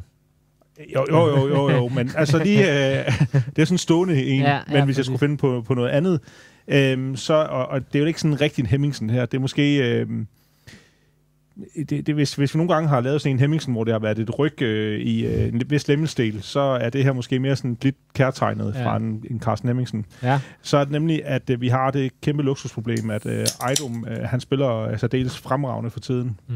men har en kontrakt, der udløber i sommeren 26. Om halvandet års tid. Ja, om halvandet års tid. Og hvis han fortsætter det niveau, han ligger nu, så står vi bare med en ny slotsag her til sommer. Fem år. Jamen, altså i princippet, så, så øh, når vi alligevel skal til at have de her snakke med de her øh, syv spillere, der blev nævnt før, øhm, så øh, synes jeg, at det kunne være super lækkert at få den øh, julegave øh, som OB-fan øh, her til, til vinter, mm. at, øh, at øh, vi lige forlænger med, med minimum to, øh, to yderligere år end det, der er nu øh, med Ejdom. Også fordi, nogle gange så har vi sådan en tendens med i, øh, i OB, når vi sådan i snakken, og jeg er selv øh, medvirkende til den, at når vi laver de her forlængelser, så er det meget på baggrund af, kan vi sælge dem senere til mange penge. Mm. Grunden til, at jeg gerne vil have Ejdom, han får forlænget nu, det er, at øh, jeg synes for det første, at han er en mega fed spiller, og jeg vil gerne have ham til med op i Superligaen, og man ikke er tvunget til at skulle sælge ham på et tidspunkt, for, fordi hans kontrakt udløber. Og øh, så øh, har han også fortjent det. Altså lige nu, der, der mm. kunne jeg forestille mig, uden at kende deres lønninger eller noget som helst, men sådan meget, meget sådan forsigtigt bud, så tror jeg, at Jakob Bunde tjener fire gange så meget som ham om måneden. Mm. Altså altså bare sådan et, et jeg, jeg kan jo ikke sige det med sikkerhed, Nej, men det, det det gætter jeg på bare. Og, og øh, der synes jeg, at Ejdom han lige nu laver nogle øh, præstationer, der gør, at øh, han faktisk bare fortjener at få en lønforhøjelse. Ja. Og, og nogle gange, så skal man også øh, huske det, at, øh, at der er sådan nogle spillere, der også fortjener at få nogle, noget anerkendelse. Øhm, og, øhm, og der er Ejdom en af dem nu. Øhm, så, så, og hvorfor bliver det sådan Hemmingsen? Jamen, fordi det, det, er jo, det er jo en luksusproblem, egentlig, Ja. man har. Så er det, at øh, den er sådan lidt øh, præventiv, eller hvad man kalder det. Jeg håber, at det kan være, at, øh, at ved at give den på forkant, at øh, så Troels han lytter med og siger, øh, jeg, jeg skal ikke Tror have jeg, den rigtige. Det tror jeg, han gør. Øh, okay. Øh, tak for det, Daniel. Jonas, er det din tur? Jamen, det var godt, du lige fik sagt, at, øh, at Troels øh, lytter med, fordi så, så, skal, så, øh, er der lidt, lidt pres på, når jeg skal formulere mig nu. Øh, fordi jeg synes, det har været meget svært at finde en Hemmingsen. Også, ligesom, ligesom i andre. Øh, fordi det, der er jo alt det, der, alt det OB foretager sig Mm. i det offentlige lige nu, det går, det går ret godt. Øhm, jeg vil selvfølgelig gerne komme med en, en finmaskeret nuancekritik af, af, af de diskursive strategier og dens øh, følger.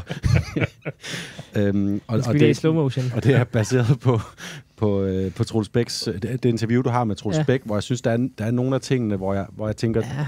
der, altså, øh, en ting er, at det kan være, at det, det, det, det, det egentlig skal være en hø, fordi han, han i tale sætter det og prøver at måske lægge pres på, på sin egen ledelse, men det er også noget, jeg tænker, det skal han måske tage med dem, han refererer til, og dem, der har mulighed for at gøre noget ved det. Jeg snakker om det her øh, med, han han henviser til, at, at mange andre danske klubber investerer meget mere end en OB, Viborgs træningsanlæg, Brøndby spillerbudget, AGF's antal ansatte er han også inde på, mm. og det er bare, jeg tænker bare, det, det, det er der sgu noget, noget, man kan gøre noget ved, og, og det, det må man prøve at tage op af, opad i, i systemet og, og sige til, til bestyrelsen, at det, det er et problem det her, hvis vi vil være konkurrencedygtige i Superligaen på den øh, øh, halvkorte og lange bane, mm. så skal vi have gjort noget ved, ved det her. Og, og, og dermed jo også på en eller anden måde fint, han, han i tale sætter det. Og så øh, antyder han også, at det jo er, er dyrt at være i første division i forhold til det her med eventuelle forlængelse af, af spillere.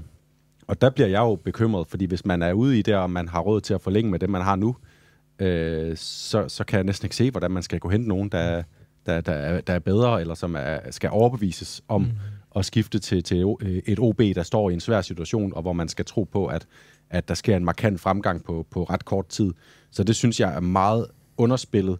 Øhm, og, og så synes jeg også, der er sådan lidt meget hurra-kommunikation om, omkring kulturrevolutionen, og hvor meget der er sket siden, mm. øh, siden for et år siden, og siden for fire måneder siden. Og, øhm, og, og det, er jo, det er jo meget fint, at de har den, øh, den fornemmelse, og, øh, og jeg, jeg er glad for, at de synes det, men øh, jeg skal bare lige se lidt mere, før jeg kan sådan hoppe med på den, på den helt store, store ja-hat på det, fordi øh, OB har skuffet på så mange områder, at, at jeg skal mm. virkelig se det, før, før jeg tror det. Så, så, og det, det, må, øh, det må Troels jo så arbejde på Ja. og overbevise mig om med nogle, øh, nogle konkrete ting. Lige nu vinder de jo kampene, så, så mm. det kan han jo med, ret, med god ret sige.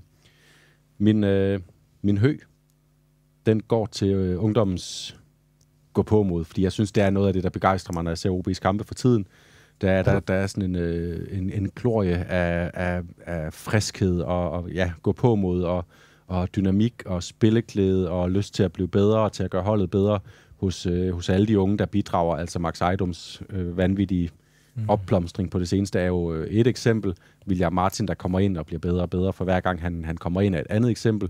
Og så er øh, øh, Julius Bert Lassgaard også et eksempel, der kommer ind nu her to gange i, øh, i streg i nogle, øh, i nogle øh, relativt svære situationer og skal ind og agere og bare gøre det fornuftigt. Øh, der er ikke noget øh, med, at han øh, ryster og starter med at lave nogle, øh, nogle fejlafleveringer eller et eller andet. Han, øh, han, bliver, han bliver smidt ind, fordi der er brug for ham, og så løser han opgaven. Og det, er, og det, det synes jeg lidt er ved heldigvis at være et fællestræk for nogle af de spillere, der kommer op fra, fra akademiet. Og det er jo sådan, det gerne skulle være, fordi hvad er det, vi hører, at OB's akademi er kendt for? Det er at være et, øh, et hold, der ikke er sjovt at spille mod. Et hold, der er meget klar i deres måde mm. øh, at gå til tingene på, og, og spiller med sådan stor energi, øh, og, og, og også overrumpler modstanderne på den måde. Og, og, og det er bare som om, at det begynder at vise sig nu, når de kommer op, at det skulle være nogle, øh, det skulle nogle voksne mennesker på, på øh, 17, 18, 19 år, der kommer op ind på, på OB's hold. Så, så det giver mig også en, en, en tryghed i, at man kan give nogle spillere chancer. Man kan også nævne Hansborg, der går ind og laver et, øh, et hårdt frispark i dag, da han kommer ind. Det kan, det kan jeg godt lide. Altså, der er sådan lidt, øh, lidt tær Ja. gemt i ham også. Så der var så mange... Øh, det, det, det er så spændende at følge, synes jeg, nu når, øh, når sådan selve øh, kampene og omgivelserne ikke er, er lige så spændende, som de plejer at være. Ja. Tak for det, Jonas. Du tog lidt øh, dem, jeg havde legnet op her, fordi jeg havde... Min hø var egentlig det her med, at OB, de, de har syv akademispillere på banen undervejs øh, i kampen øh, i dag. Og det er jo sådan der, uden at bringe sådan en som Markus Jensen i spil, øh, som, som stadigvæk er på vej tilbage. Slotsager og sidder også ude der, så man, man næsten op at kunne, kunne stille et helt hold med, med de unge her. Men øh, så må jeg finde på noget andet, og øh, en, en minihø til de bulletinger, jeg har fået om, at, øh, at DSB, de, øh, de tager det helt store serviceorgan øh, frem i dag med at, at følge OB's fans til, øh, til Fredericia og undgå diverse ødelagte vogne og så videre. Øh, det, jeg har fået at vide, det var, at der, der var et rigtig fint det samarbejde kørende der i dag mellem øh, fangrupperinger og, og øh, DSB, som øh, skulle fragte nogle fans til, til Fredericia. Og alligevel så, så ender min hø så på William Martin, med at han som 17-årig går ind og, og viser det her og scorer de her mål her, og at han har bare, øh, det har vi talt om. Fantastisk. En hø til ham. Men Hemmingsen, jeg, der, det, jeg havde lidt på samme måde det der med, hvad skal vi lige gribe fat i, fordi det, det egentlig har været en fin uge i OB-universet, men og så skal vi jo altså lige minde om alt det der, der, der, der er i vejen med et stadion, der ikke, øh, der ikke er på plads, og, og, og baner, og, og så er jeg lidt landet på, at øh, der lige blev spillet nogle pokalkampe her i midtugen, og der var OB ikke med. Og det er en skandal. Det er en er skandal. det? Ja, der, ja, nu er der, der bliver trykket også nogle kvartfinaler her. Og det er jo da også en skandale, at det er over to kampe. Det kunne Ja. også have været en, en Hemmingsen. Men at, øh, at vi... At vi det, altså OB har har meldt, meldt sig helt ud af det der pokalshow der, siden de var i finalen for et par år siden. Det, det, det er virkelig grotesk. Øh, så det var lige min øh, korte Hemmingsen for den omgang her.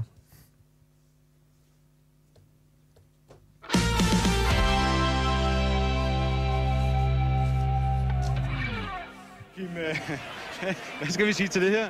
Ja, det er optimalt. Øh, jeg har hele tiden tro på, at muligheden var til stede, hvis de kunne spille disciplineret. Det vi har været vinde til i dag, det er suverænt den største kamp i OB's historie. Denne uges øh, sådan den tredje sektion, den sætter fokus på det seneste år i OB.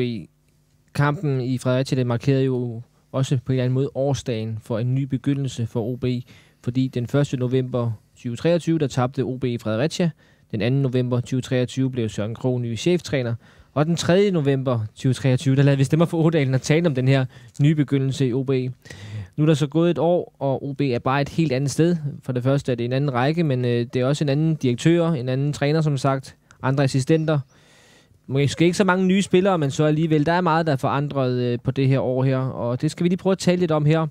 Og så slutter vi også den her seance af med at, af med at se lidt fremad. Øh, Daniel, køber du den her præmis, som jeg har stillet op i ugens løb, om at, at OB er en helt ny klub i forhold til for et år siden?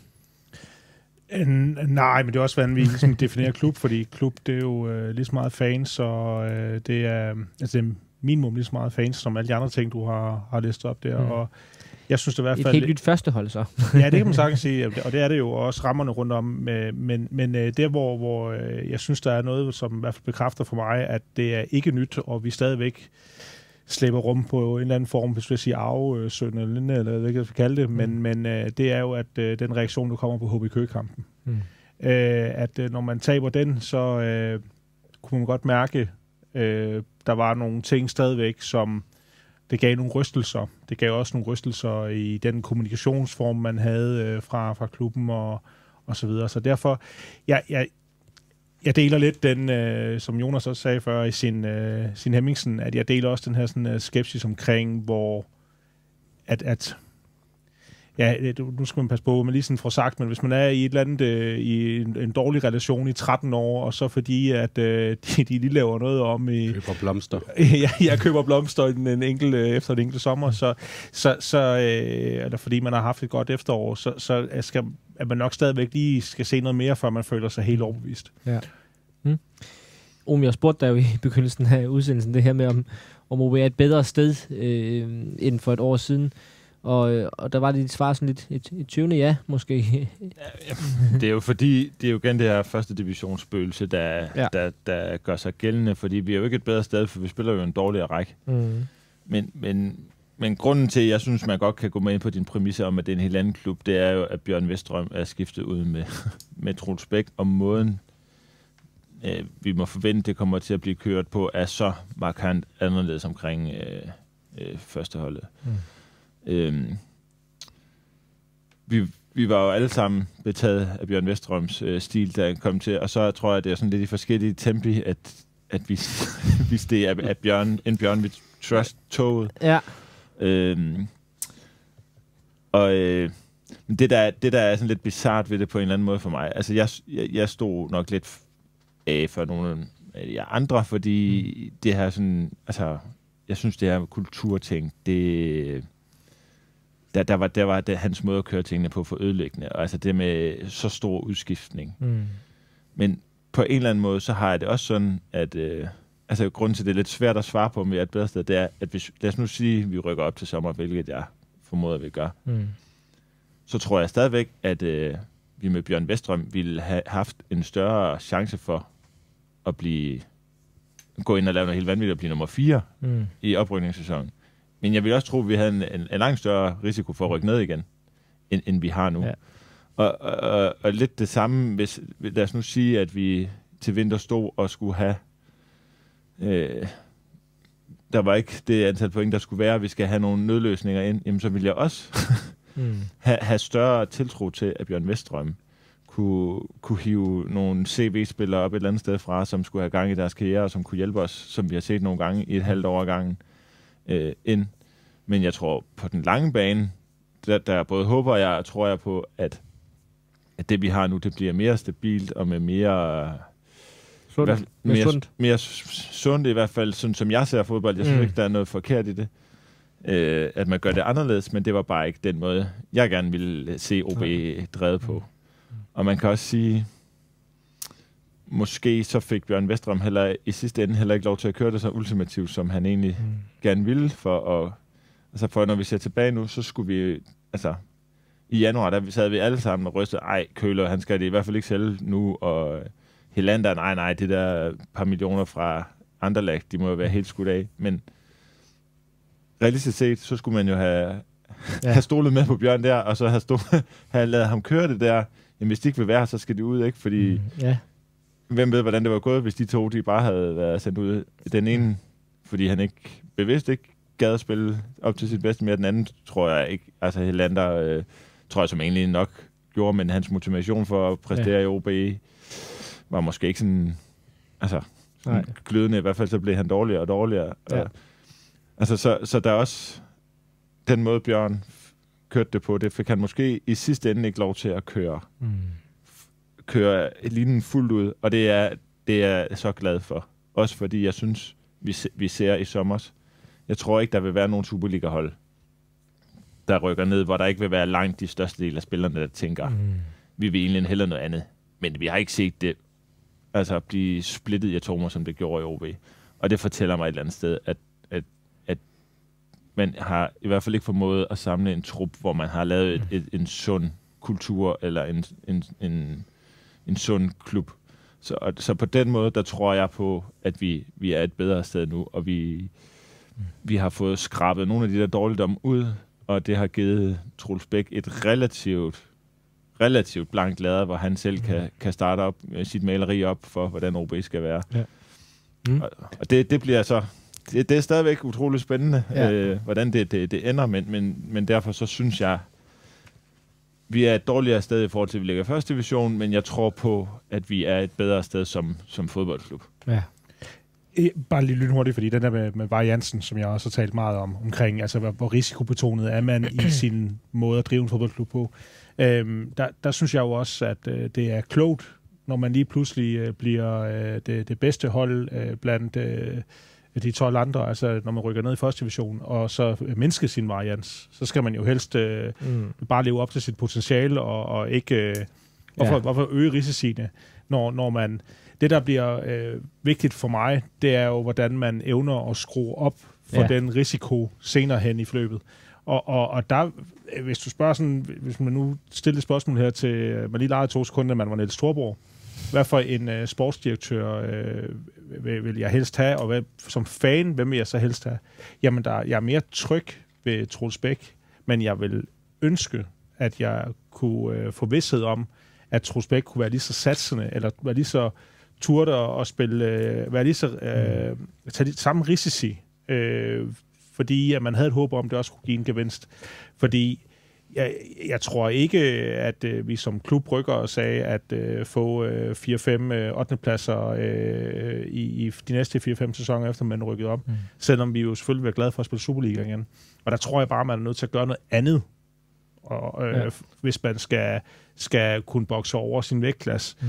Og det andet, det var øh, Vestrom et eksempel på så er der rigtig mange ting, der er beslutninger, der er taget, øh, som er, er dårlige, og, og som jeg også øh, skulle vende mig til. Altså alt det her med, at vi ikke må være sentimentale, og øh, hvad der var, Vestrom han havde af, af sådan øh, pointer. Men signalet i at, at ansætte en som ham, det, det kunne jeg egentlig ja. godt lide, dengang man gjorde det. Mm. Øh, fordi det sagde noget om den risikovillighed, man havde i klubbens ledelse. Og det, det er fair nok. Og det jeg forstår det også godt. Det øh, vil være utrolig individuelt fra fan til fan. Der vil jeg bare sige, jeg vil, jeg vil hellere blive nummer 8, 8 og 9 med sådan en type OB-hold her, end jeg vil blive nummer 4, 9 og 11 med, med, Vestrøms. Altså, jeg vil meget hellere have, at det er nogle spillere, jeg kan, kan relatere til her. Vi kan sidde og synes, det er mega fedt, at det er William Martin, i stedet for, at det er Gikovic, som kommer og skal spille 10 kamp, og så er han væk igen, mm. og, og så videre. Og det er rigtigt. Hvis man så kan... Vi skal have... Noget af det, der, der gik galt under Bjørn, er jo også, at der aldrig kommer et fundament. Der kommer aldrig en kerne i den trup. Og der håber jeg jo så, at Troels sunde måde, som jeg ser det, lidt mere sunde måde at bygge OB og kultur op på, gør, at nogle af de risiko, du tager, de er ikke, altså, de er ikke afgørende for, om du så skralder hele kulturen ned, og så det kan falde sammen, som det, som det gjorde her i foråret. Nej, jeg, jeg, jeg køber den jo øh, fuldstændig øh, til kurs 100, så, så uenig er at vi trods alt ligge i det her, men, men det er jo... Øh, Ejdom at blive rykket op som førsteholdsspiller, mens at øh, Vestrom var sportsdirektør. Luka Kammergaard forlænger man med her foråret, om det så er ham, der har trykket på knappen med Vestrom, eller hvem der har det. Han var i hvert fald øh, på sportsdirektør. Men det, øh, men det er jo også risiko. Altså, ja. det, det er igen der med, at han får aldrig lavet en, en base, der gør, at nogle af alle de her øh, chancer- og risikospillere og unge spillere kan, har, en, har en sund forudsætning for at præstere, fordi at, at dem, der så skal være skelettet og ryggraden, de er pillerødne. Jeg, jeg stopper den lige her, fordi det er en, øh, det er en udsendelse i sig selv, øh, Vestrøms efter, eftermæle. Men det bliver hurtigt det, det kommer til at handle om, øh, og Jonas, du har siddet lidt i baghånd her, men, ja. men øh, fordi jeg tror faktisk, Troels Bæk selv engang har, har sammenlignet det der med en fodboldklub med en katedral, og at, at, øh, at alle de her andre forandringer, jeg, jeg egentlig ridset op med, med spillere og assistenttræner og træner osv., det, det er jo egentlig bare dem, der skal sidde med, med stenblokken eller stenøksen der og, og lave katedralen, hvorimod at sportsdirektøren, det er ham, der skal tegne den, og, og, og det er derfor, at den der forandring, det er jo den største forandring, der har været i det her år, det er, at Troels Bæk er kommet ind i stedet for. Vestrøm, øh, fordi ejeren er jo så den samme, og, og bestyrelsen er det samme, og jeg tror også kursen og budgettet, siger de jo, er, det samme.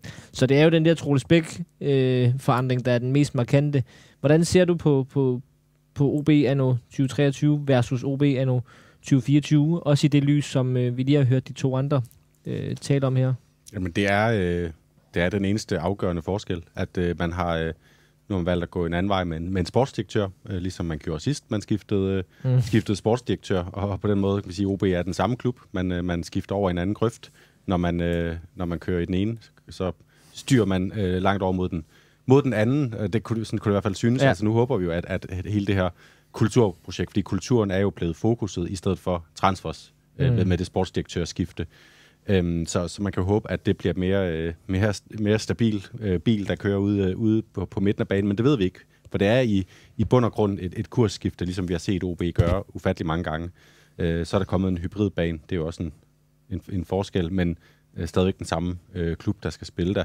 Så jeg synes ikke, at, at OB er en anden klub, fordi øh, summa summarum, det er, at, at øh, øh, rammerne er de samme. Øh, dem, der i sidste ende bestemmer, er de samme. Vi sidder stadigvæk her og snakker om et, øh, et OB-hold i en dårlig position i dansk fodbold, og øh, et OB-hold, øh, hvis projekt vi ikke ved, hvad ambitionen øh, er for. Nej. Altså vi ved ikke, om, om, øh, om man fra, fra den øverste ledelse ønsker at gøre OB til et øh, øh, Superliga-hold øh, med nød og næppe, eller et et øh, stærkt Superliga-hold, eller et Europa League øh, og det, og det, hold, eller hvad det skal og være. det kunne jo også have været en hø eller en Hemmingsen i dag, at vi, at vi savner lidt at få at vide, hvad, hvad er egentlig meningen med, med det hele, med, med OB, hvad, hvor vi er hen. Ja, det kan, det kan lyde hårdt over for, at der er blevet truffet, der er jo blevet truffet nogle, synes jeg, ret øh, sådan radikale beslutninger i løbet af det her år, men vi har ikke set resultaterne af dem endnu, og, og vi har jo bare gang på gang set, at, øh, at, at, at, at alle OB-projekter er styret i, øh,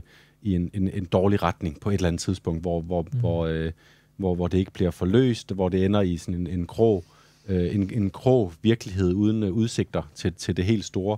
Øh, så, så derfor, det er ikke fordi, at jeg, jeg, jeg sidder og, og dødstømmer det nuværende projekt. Det vil være fuldstændig urimeligt.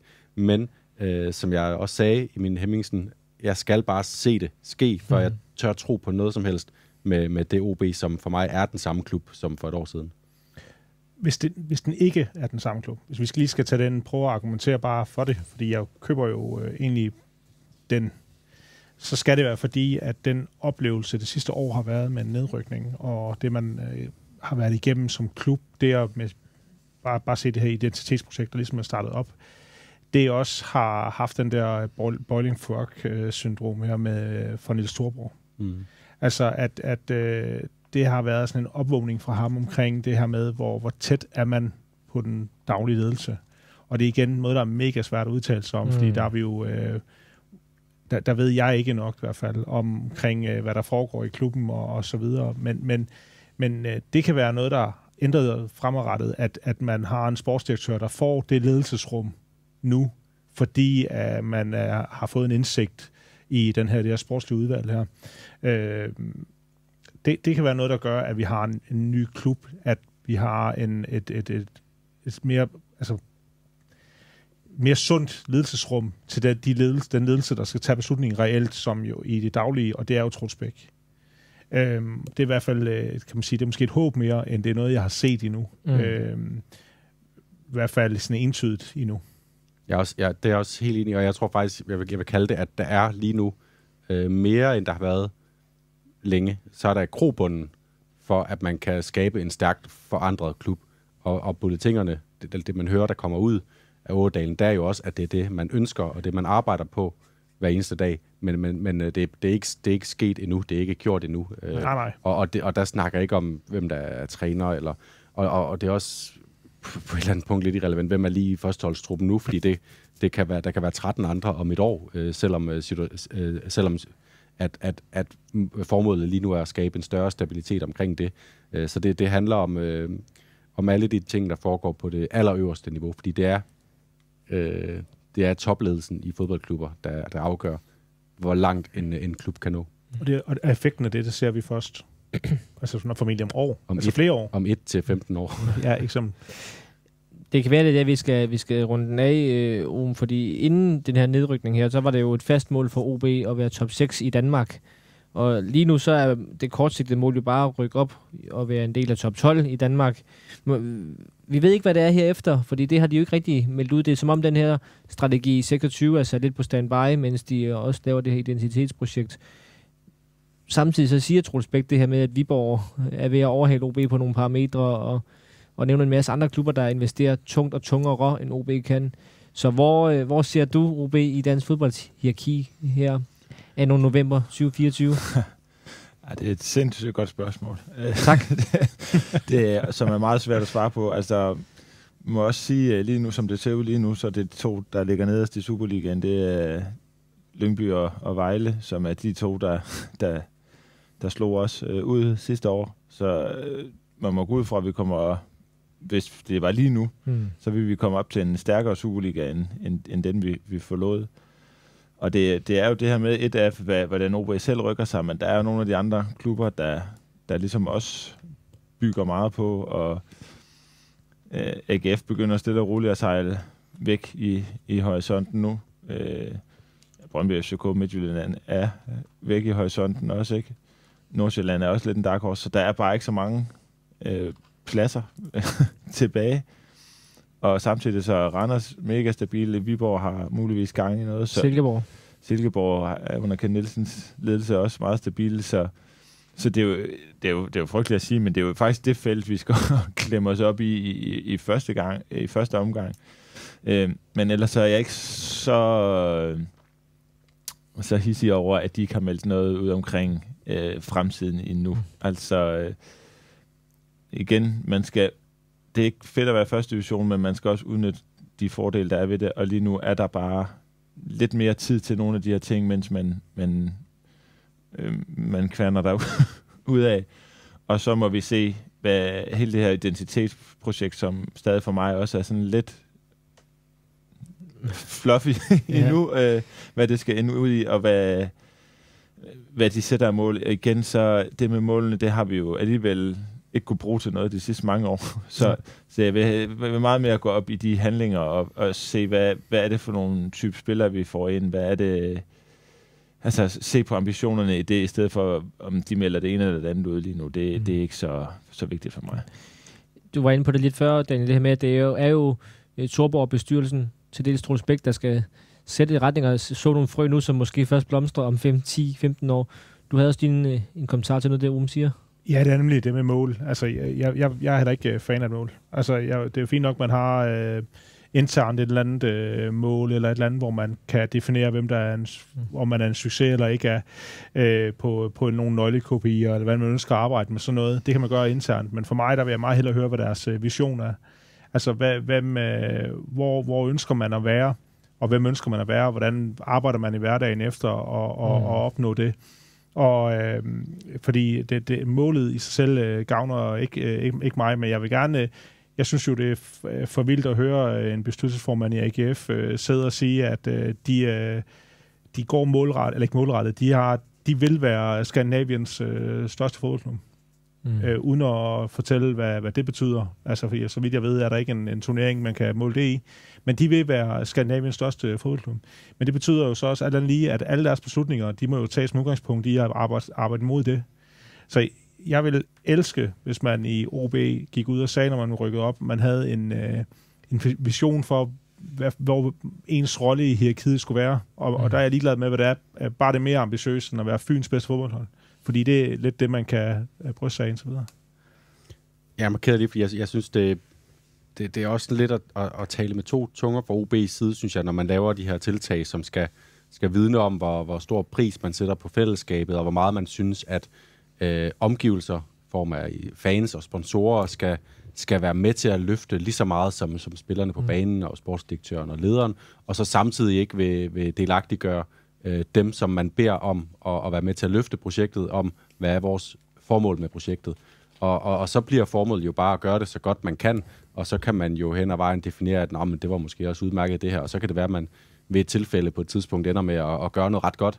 Men jeg synes bare, hvis man gerne vil, vil samle fællesskabet om at løfte OB, så, så skylder man også fællesskabet og, og, og dele et eller andet form for, for vision eller, eller, eller mål, som man kan stræbe efter sammen, og så kan man øh, dele skuffelserne, øh, det er vi gode til i OB, mm. sammen øh, på, en, på en god måde, og man kan dele øh, øh, klæden, øh, når, når man så endelig lykkes med et eller andet. Men også nu, eller altså, jeg synes ja, ikke, det er nu, at man ja, behøver at komme og, med den. Og jeg, jeg synes jo også, det Skandinaviens største fodboldklub, det er, sådan, øh, det, det er noget plænværk, altså det, det, det, det er lidt latterligt, og det, det vil jo sikkert være sådan noget, men hvorfor kan man ikke bare, have en, hvorfor kan man ikke bare sige, jamen vi skal tilbage til at være et, et, et, et tophold i, i, i dansk fodbold, altså det vil sige, øh, ligesom ja. op igennem nullerne, hvor man spiller, øh, mm. og, og tit bliver nummer 4, og når man bliver nummer 6 eller 7, så er man sådan lidt skuffet sammen, men man spiller bare næste sæson efter efter igen og, ja. og, og blive så meget tophold, som ja, man nu ja, engang kan. Ja, ja, ja, hvad er der i vejen med, at hvis, øh, hvorfor siger Torborg ikke bare, eller Troels Bæk, at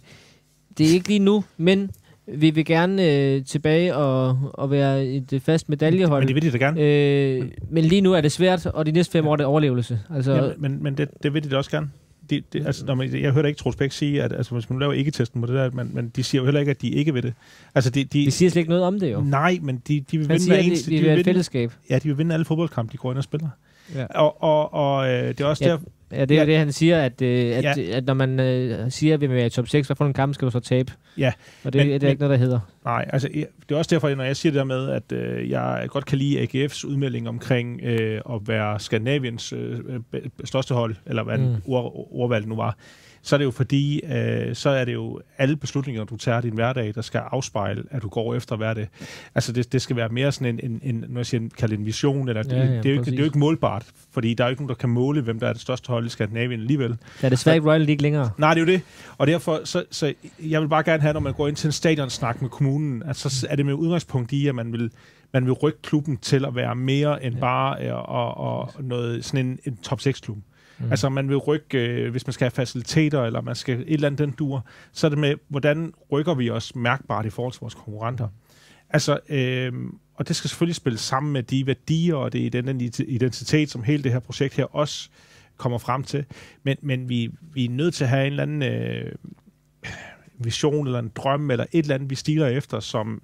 Jeg, fordi jeg er ligeglad med, om det er målbart. Jeg er ligeglad med, om det hedder øh, top 10, eller om det hedder top 8, eller hvad man kalder det. Jeg, jeg vil bare gerne have, at, øh, at vi, øh, vi har noget at kæmpe for og imod mm. øh, i vores beslutninger i hverdagen. Jeg er meget enig. Der er ikke noget med top eller nogle placeringer eller noget. Altså det, det handler om, hvad OB skal være. Øh, hvad OB skal stræbe efter at være sæson efter sæson og blive bedre til at være sæson efter sæson, så man er rigtig god til det om fem eller, eller ti år, eller forhåbentlig to år. Altså, mm. det, det, der kan jo ske mærkelige ting i fodbold. Øh, men, og, og, og bare lige for at underbygge det, at det er bare vigtigt for, for fodboldklubber, også en fodboldklub som OB, at huske, at de er ikke i øh, en... Øh, øh, i et eller andet øh, tør øh, øh, cementbranche, hvor de kan blive målt på, øh, på deres øh, øh, økonomiske bundlinje hver eneste år. De er, øh, de er i en branche, hvor man sælger håb og, og drømme, og, øh, og der er en årsag til, at folk kommer ud på stadion. Det er der fællesskabet, og det er sjovt og festligt at være derude, men der er også rigtig mange ude på, øh, på Odense Stadion, der, der har nogle, nogle drømme og nogle håb, og, og dem skal man passe på, at man ikke, ikke slukker ved at, at underspille sig mm. selv for meget hele tiden, og, og ikke, ikke ture være sådan lidt, lidt åbenmundet og lidt, lidt direkte og udfordre, øh, udfordre, hvad det er, øh, rammerne for ens øh, klub skal kunne, kunne bære. Men du behøver ikke at høre det nu, om de nej, her drømme der. Nej, jeg synes stadigvæk, at Troels Bæk øh, kan påberåbe, at han er så ny i sit embede og er i gang med det her identitetsprojekt, og vi ligesom skal samle op og, og, og nå hele vejen rundt. Og så igen det her med, jamen sidst vi hørte noget fra Torborg, var det jo det her, en dårlig sæson skulle være en 6. plads. Men det, altså det kom der jo alligevel ikke noget ud af, og vi så ikke en masse visionære handlinger, der førte hen mod det. Så jeg er helt enig i, på et eller andet tidspunkt, at de jo nødt til at inddrage os andre i, hvad, hvad er målet, hvad er det, vi, formålet med OB. Øh, men for mig er det okay, det ikke er endnu. Altså, at vi, at, at, at der synes jeg stadigvæk, at Troels Bæk har noget tid. Og så håber jeg bare, at der kommer noget, noget røv i buksen, når man så melder det ud. Altså, at for mig er det meget mere vigtigt med, med handlingerne og, og, og hvordan det, det materialiserer sig, end det er øh, med, med ordene. Øh, fordi jeg synes, det med ordene, det har vi, det har vi set, set og hørt masser til i OB. Men, men handlingerne er der jo øh, uanset hvad, og, og hvis man har, har meldt ud, vi vil gerne være et tophold i, i Danmark, så vil man stadigvæk ligge i første division nu, og ligge nummer et der, og have et rigtig stort bjerg at bestige. Men, men så kan, det, det, det ved omgivelserne jo også godt. Derfor kan man stadigvæk godt have det der mål for enden og, og stræbe imod sammen, og så kan man jo der, der er også en grund til, at vi er blevet så skuffet over at, at rykke ned, og at OB er i den situation, de er nu. Det er blandt andet, fordi Nils Storborg har sagt, som han gjorde, og vi deler den opfattelse af, hvad vi synes, OB skal være. Ellers så kunne vi jo være ligesom, øh, ligesom øh, Vejle, når de rykker op og ned, så er det jo sådan, at ja, det, det plejer vi jo også, og det er fedt, vi får en anden sæson i Superligaen, men øh, nu, så, så er det nok også det for os. Sådan er vi jo ikke, fordi vi har, vi har jo den ambition, så hvorfor ikke bare, øh, hvorfor ikke bare i talesæt, når så ved vi jo også, at så kan vi jo spørge, så kan vi spørge Troels Bæk til marts, Nå, hvordan er vi nu øh, i forhold til den her, øh, den her øh, drøm om at blive tophold i Danmark, og så kan han svare, jamen vi arbejder øh, på det hver dag, og, øh, og det går da lidt fremad, men vi er jo stadigvæk langt fra, fordi vi ligger i, i første division og skal lige op i Superligaen først og sådan noget. Men for enden af den her, det her lange proces, så skal også være noget, ellers så, så er det kedeligt at følge med i en, en proces, synes jeg.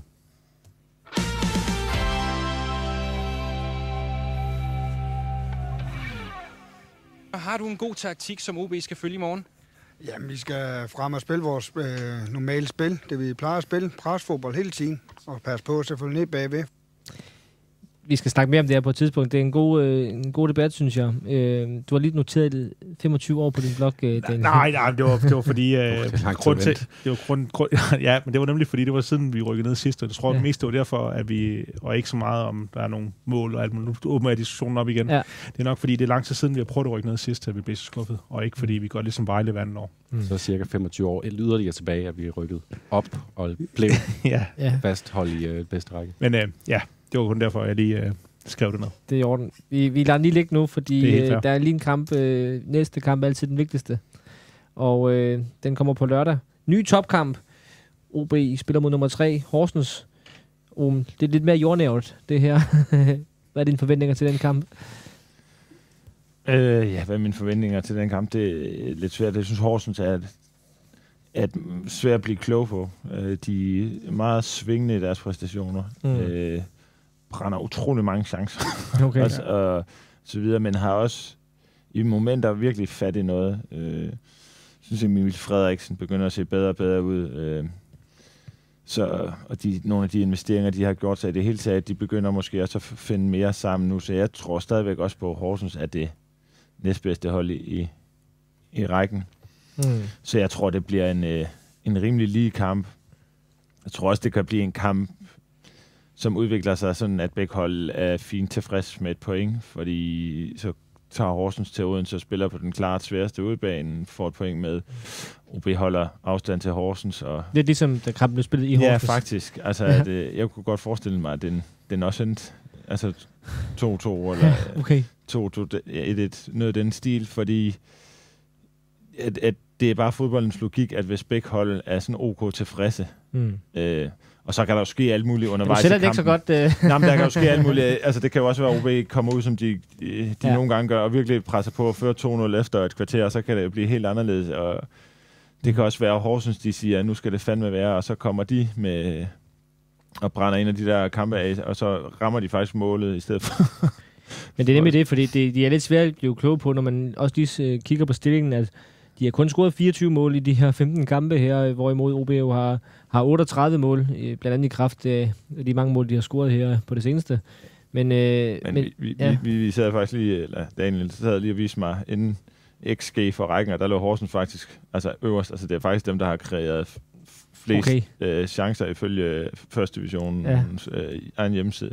Så det er også altså det er et hold, der godt kan, kan producere noget offensivt. De kan bare ikke score på dem alle sammen. Ja, det, det er også dem, der har langt flest skud og, og øh, flest skud på mål per kamp og sådan noget også. Øh, så så de, de kan sagtens finde ud af at, at, at spille øh, offensivt, kan man sige. Ja. Hvad tænker du om, om den kamp her? Jamen, altså... Øh, jeg prøver lige at finde den der frem, øh, statistikken der, du, du snakker om imens. Jamen, det er fint, så kan jeg... Jeg har også... Øh, skrev det på, på linjer ned her, fordi at, øh, jeg, jeg glæder mig helt vildt til den kamp her. Fordi, Sådan. Øh, ja, og, og det gør jeg, fordi at, øh, at øh, det, det lugter af, af Superliga. Altså mm. det, det lugter af et niveau, hvor vi kan forvente, at nu begynder holdet også at blive presset lidt. Altså, øh, og så er der også det i det, at jeg tror, at Horsens øh, er længere fra deres, øh, deres top øh, målpotentiale, kan man sige, end, øh, end vi er, og derfor så er det øh, rarere at møde dem nu end efter vinterpausen, tror jeg. Altså jeg tror, øh, tiden er deres ven øh, lige nu. Øh, fordi de har lavet deres investeringer, som de ligesom skal... Altså jeg tror ikke, de kommer til at bruge 15, 15 millioner igen her til vinter, eller til, for den sags skyld, måske til sommer, men ikke, men ikke så bliver det for at reparere på nogle ting. Jeg, jeg, så jeg tror, at de er i gang med at forløse det, de har, øh, og der tror jeg, de bliver bedre med tiden, og derfor vil jeg gerne møde dem nu. Øh, så er der også noget i, at øh, jeg synes, at øh, nogle gange, at OB i de sidste kampe her har virket lidt, øh, når de får det der mål, eller kommer foran 2-0, der er ikke den der, øh, der drev i dem til at blive ved med at jagte. Øh, nogle gange stiller de så, i dag der stiller de sig lidt tilbage. Der, der tror jeg, at det her med, at man møder et, altså det, jeg, jeg har tolket det som en mental træthed eller anden, øh, i, mm. at, at det er svært at blive med at holde gejsten, når man møder de her øh, sådan noget Roskilde. Nu skal jeg også respekt for dem, men, men altså stadigvæk, og der tror jeg, at Horsens kommer til at have en, en kvalitet, hvor man kommer til at se et OB-hold, der kommer til at komme en anden, det, det forventer jeg faktisk bare af dem, at de kommer på en hjemmebane her, kommer til at skulle bevise over for deres fans, at, at det er altså det er ikke kun er stillingen eller tabellen, der, er, der viser, at man er suverænt det bedste hold, mm. men det er også spil på banen. Og, og derfor kommer man forhåbentlig ind med en, en anden ild i øjnene, nu hvor man skal møde øh, det, det anden bedste hold i rækken. Mm. Øh. Jonas, glæder du dig også til kampen, ligesom Daniel gør? Ja, desværre øh, skal jeg til, til København den dag og se en, øh, en, en længe ventet koncert, så øh, jeg får ikke lov at se den fra, fra lægterne. Ellers havde jeg, havde jeg glædet mig umådeligt meget til det, og ja også fordi jeg synes øh, faktisk, kampen i Horsens var, var ret sjov. Mm. Øh, fordi Horsens kunne udfordre OB på nogle af de ting, som, som OB jo, vi har lige blandt andet snakket om, OB var gode mod, til mod øh, Fredericia. Øh, så, så det blev sådan lidt en, en, en kaotisk kamp, og det forventer jeg også igen, hvor begge hold vil prøve at, at ramme hinanden på, på de her hurtigt gennemførte angreb. Øh, og, og så bliver det meget sådan frem og tilbage, og hvem, øh, hvem, hvem får lige skabt de, de største chancer. Mm. Og så har de den her højre side med, med, med Kallesø og, og Emil Frederiksen, som spiller på et øh, rigtig højt niveau og skabte altså øh, Nico Mikkelsen, han havde en hård dag i Horsens øh, senest, så, ja, okay. så, og han, han er formentlig, formentlig klar øh, til at, at tage kampen op igen, tænker jeg. Jeg får, får det forhåbentlig lidt, lidt bedre der, men, men jeg tror, det bliver en rigtig, rigtig sjov kamp, og så er det jo, så er Horsens jo det hold af, i, i rækken ud over OB, der, der mest smager af, af Superliga, så, ja. så det er det er en, øh, en, en fed, øh, ikke et test for OB, men en, en fed mulighed for, som, som var der, der sagde Daniel, at demonstrere, at, øh, at, at OB er øh, ægte på et andet niveau end, end alle hold i den her række. Ja. Så, øh, så ja, der, der er mange gode grunde til at glæde sig til den kamp, mm. faktisk du har også skrevet Kallesø og Emil Frederiksen på dit papir. Ja, det jeg, jeg. jeg kan sidde, sidde og læse dine noter her. ja, ja, ja, men jeg skriver også meget stort. Jeg ved ikke, om det er øjnene, eller hvad det er, der gør. Jeg vil skrive så stort, men, men jeg har også tre spillere, jeg har skrevet noget, som er dem, jeg holder øje med for Horsens, den, ja. den kamp her. Og det er nemlig øh, Kallesø og Emil Frederiksen på den ene øh, på den ene side der, og så har de ham deres øh, sekser, eller Lusevic, eller hvad han, hvad det udtales, mm. som er kommet ind øh, forholdsvis sent i vinduet. Men de kampe, jeg har set med ham, der har han været øh, altså, helt vildt dominerende inde på den midtbane der. Ja. Altså fylder utrolig meget af det. kommer jo nok formentlig være, til at være ham, der skal tage sig af Ejdum, hvis OB vælger at spille op i den her 4-4-2 mm. igen. Mm. Og, og øh, den, den, den kamp er jeg, øh, den, den glæder mig, den der kamp i kampen, den glæder mm. mig helt vildt til at se, fordi mm. det bliver sådan to unge spillere, der begge to har, jeg tror også, han er 20, ham Lucevic, der 21. faktisk. 21, ja. Kroatisk midtbanespiller, det lugter også bare af noget verdensklasse. Ja, men han er, han er, øh, jeg synes virkelig, han er god. Og han, øh, så så jeg, jeg, øh, jeg glæder mig til den kamp i kampen og se, om Ejdom, der, er, der virkelig øh, spiller på et vildt niveau lige for tiden, øh, mm. Øh, og, og så ham, øh, Lucevic, der.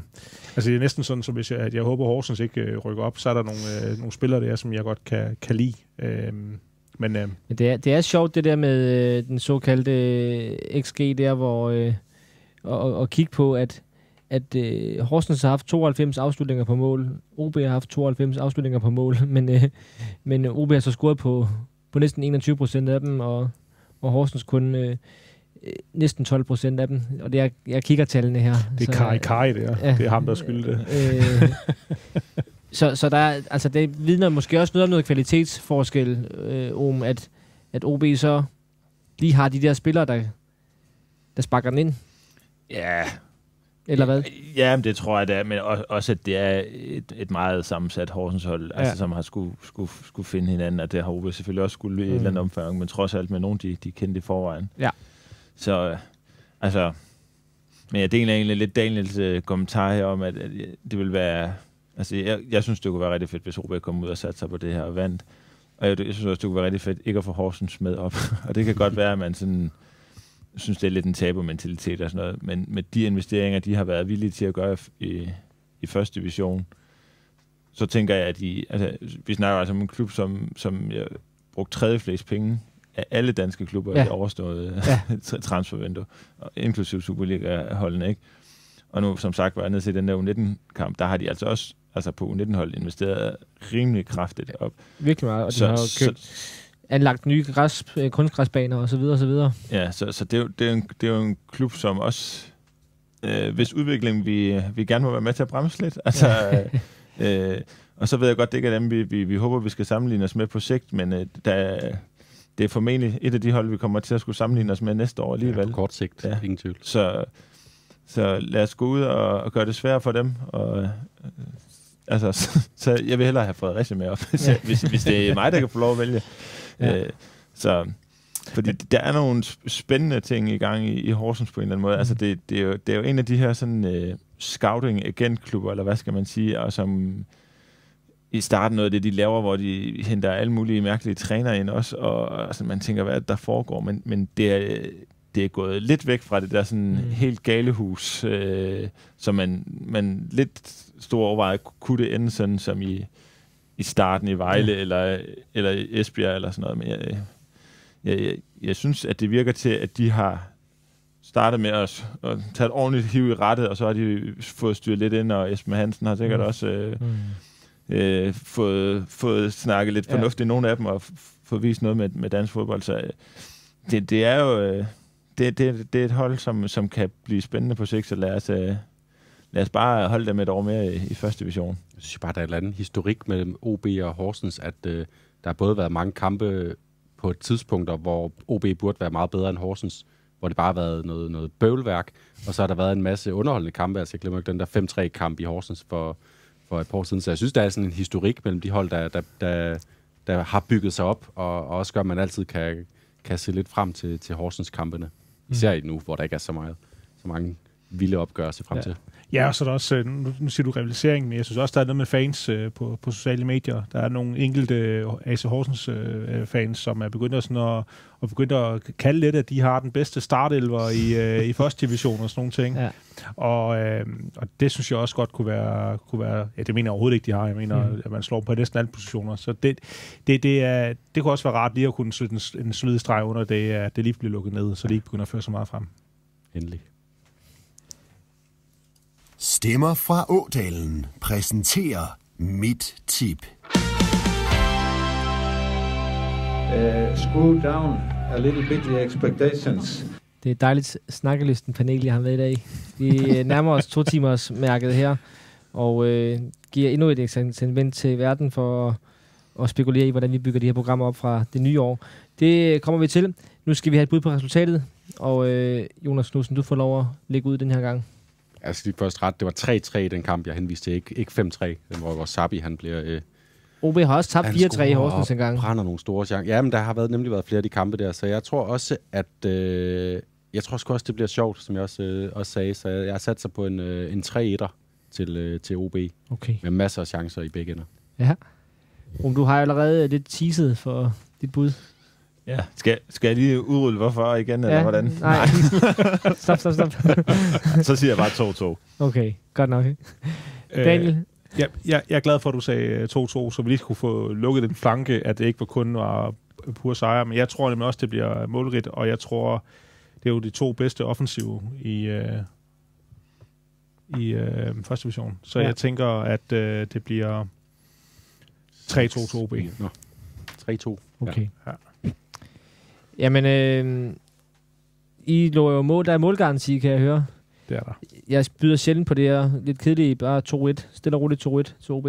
Men det byder jeg så på den her gang. Hmm? Det er helt fair. Det er godt. tak. tak. Øh, nu er vi nået til vejs ende. Jeg vil sige tak for i dag. Tak til Morten, til Daniel og til Jonas. Selv tak. Selv tak. Fornøjelse. Tak til TV2 Fyn. Tak til medlem af Klub SVO. Tak til Albani. Og øh, mit navn er Martin Davidsen, og der er Stemmerfordalen snart igen på genhør og på gensyn.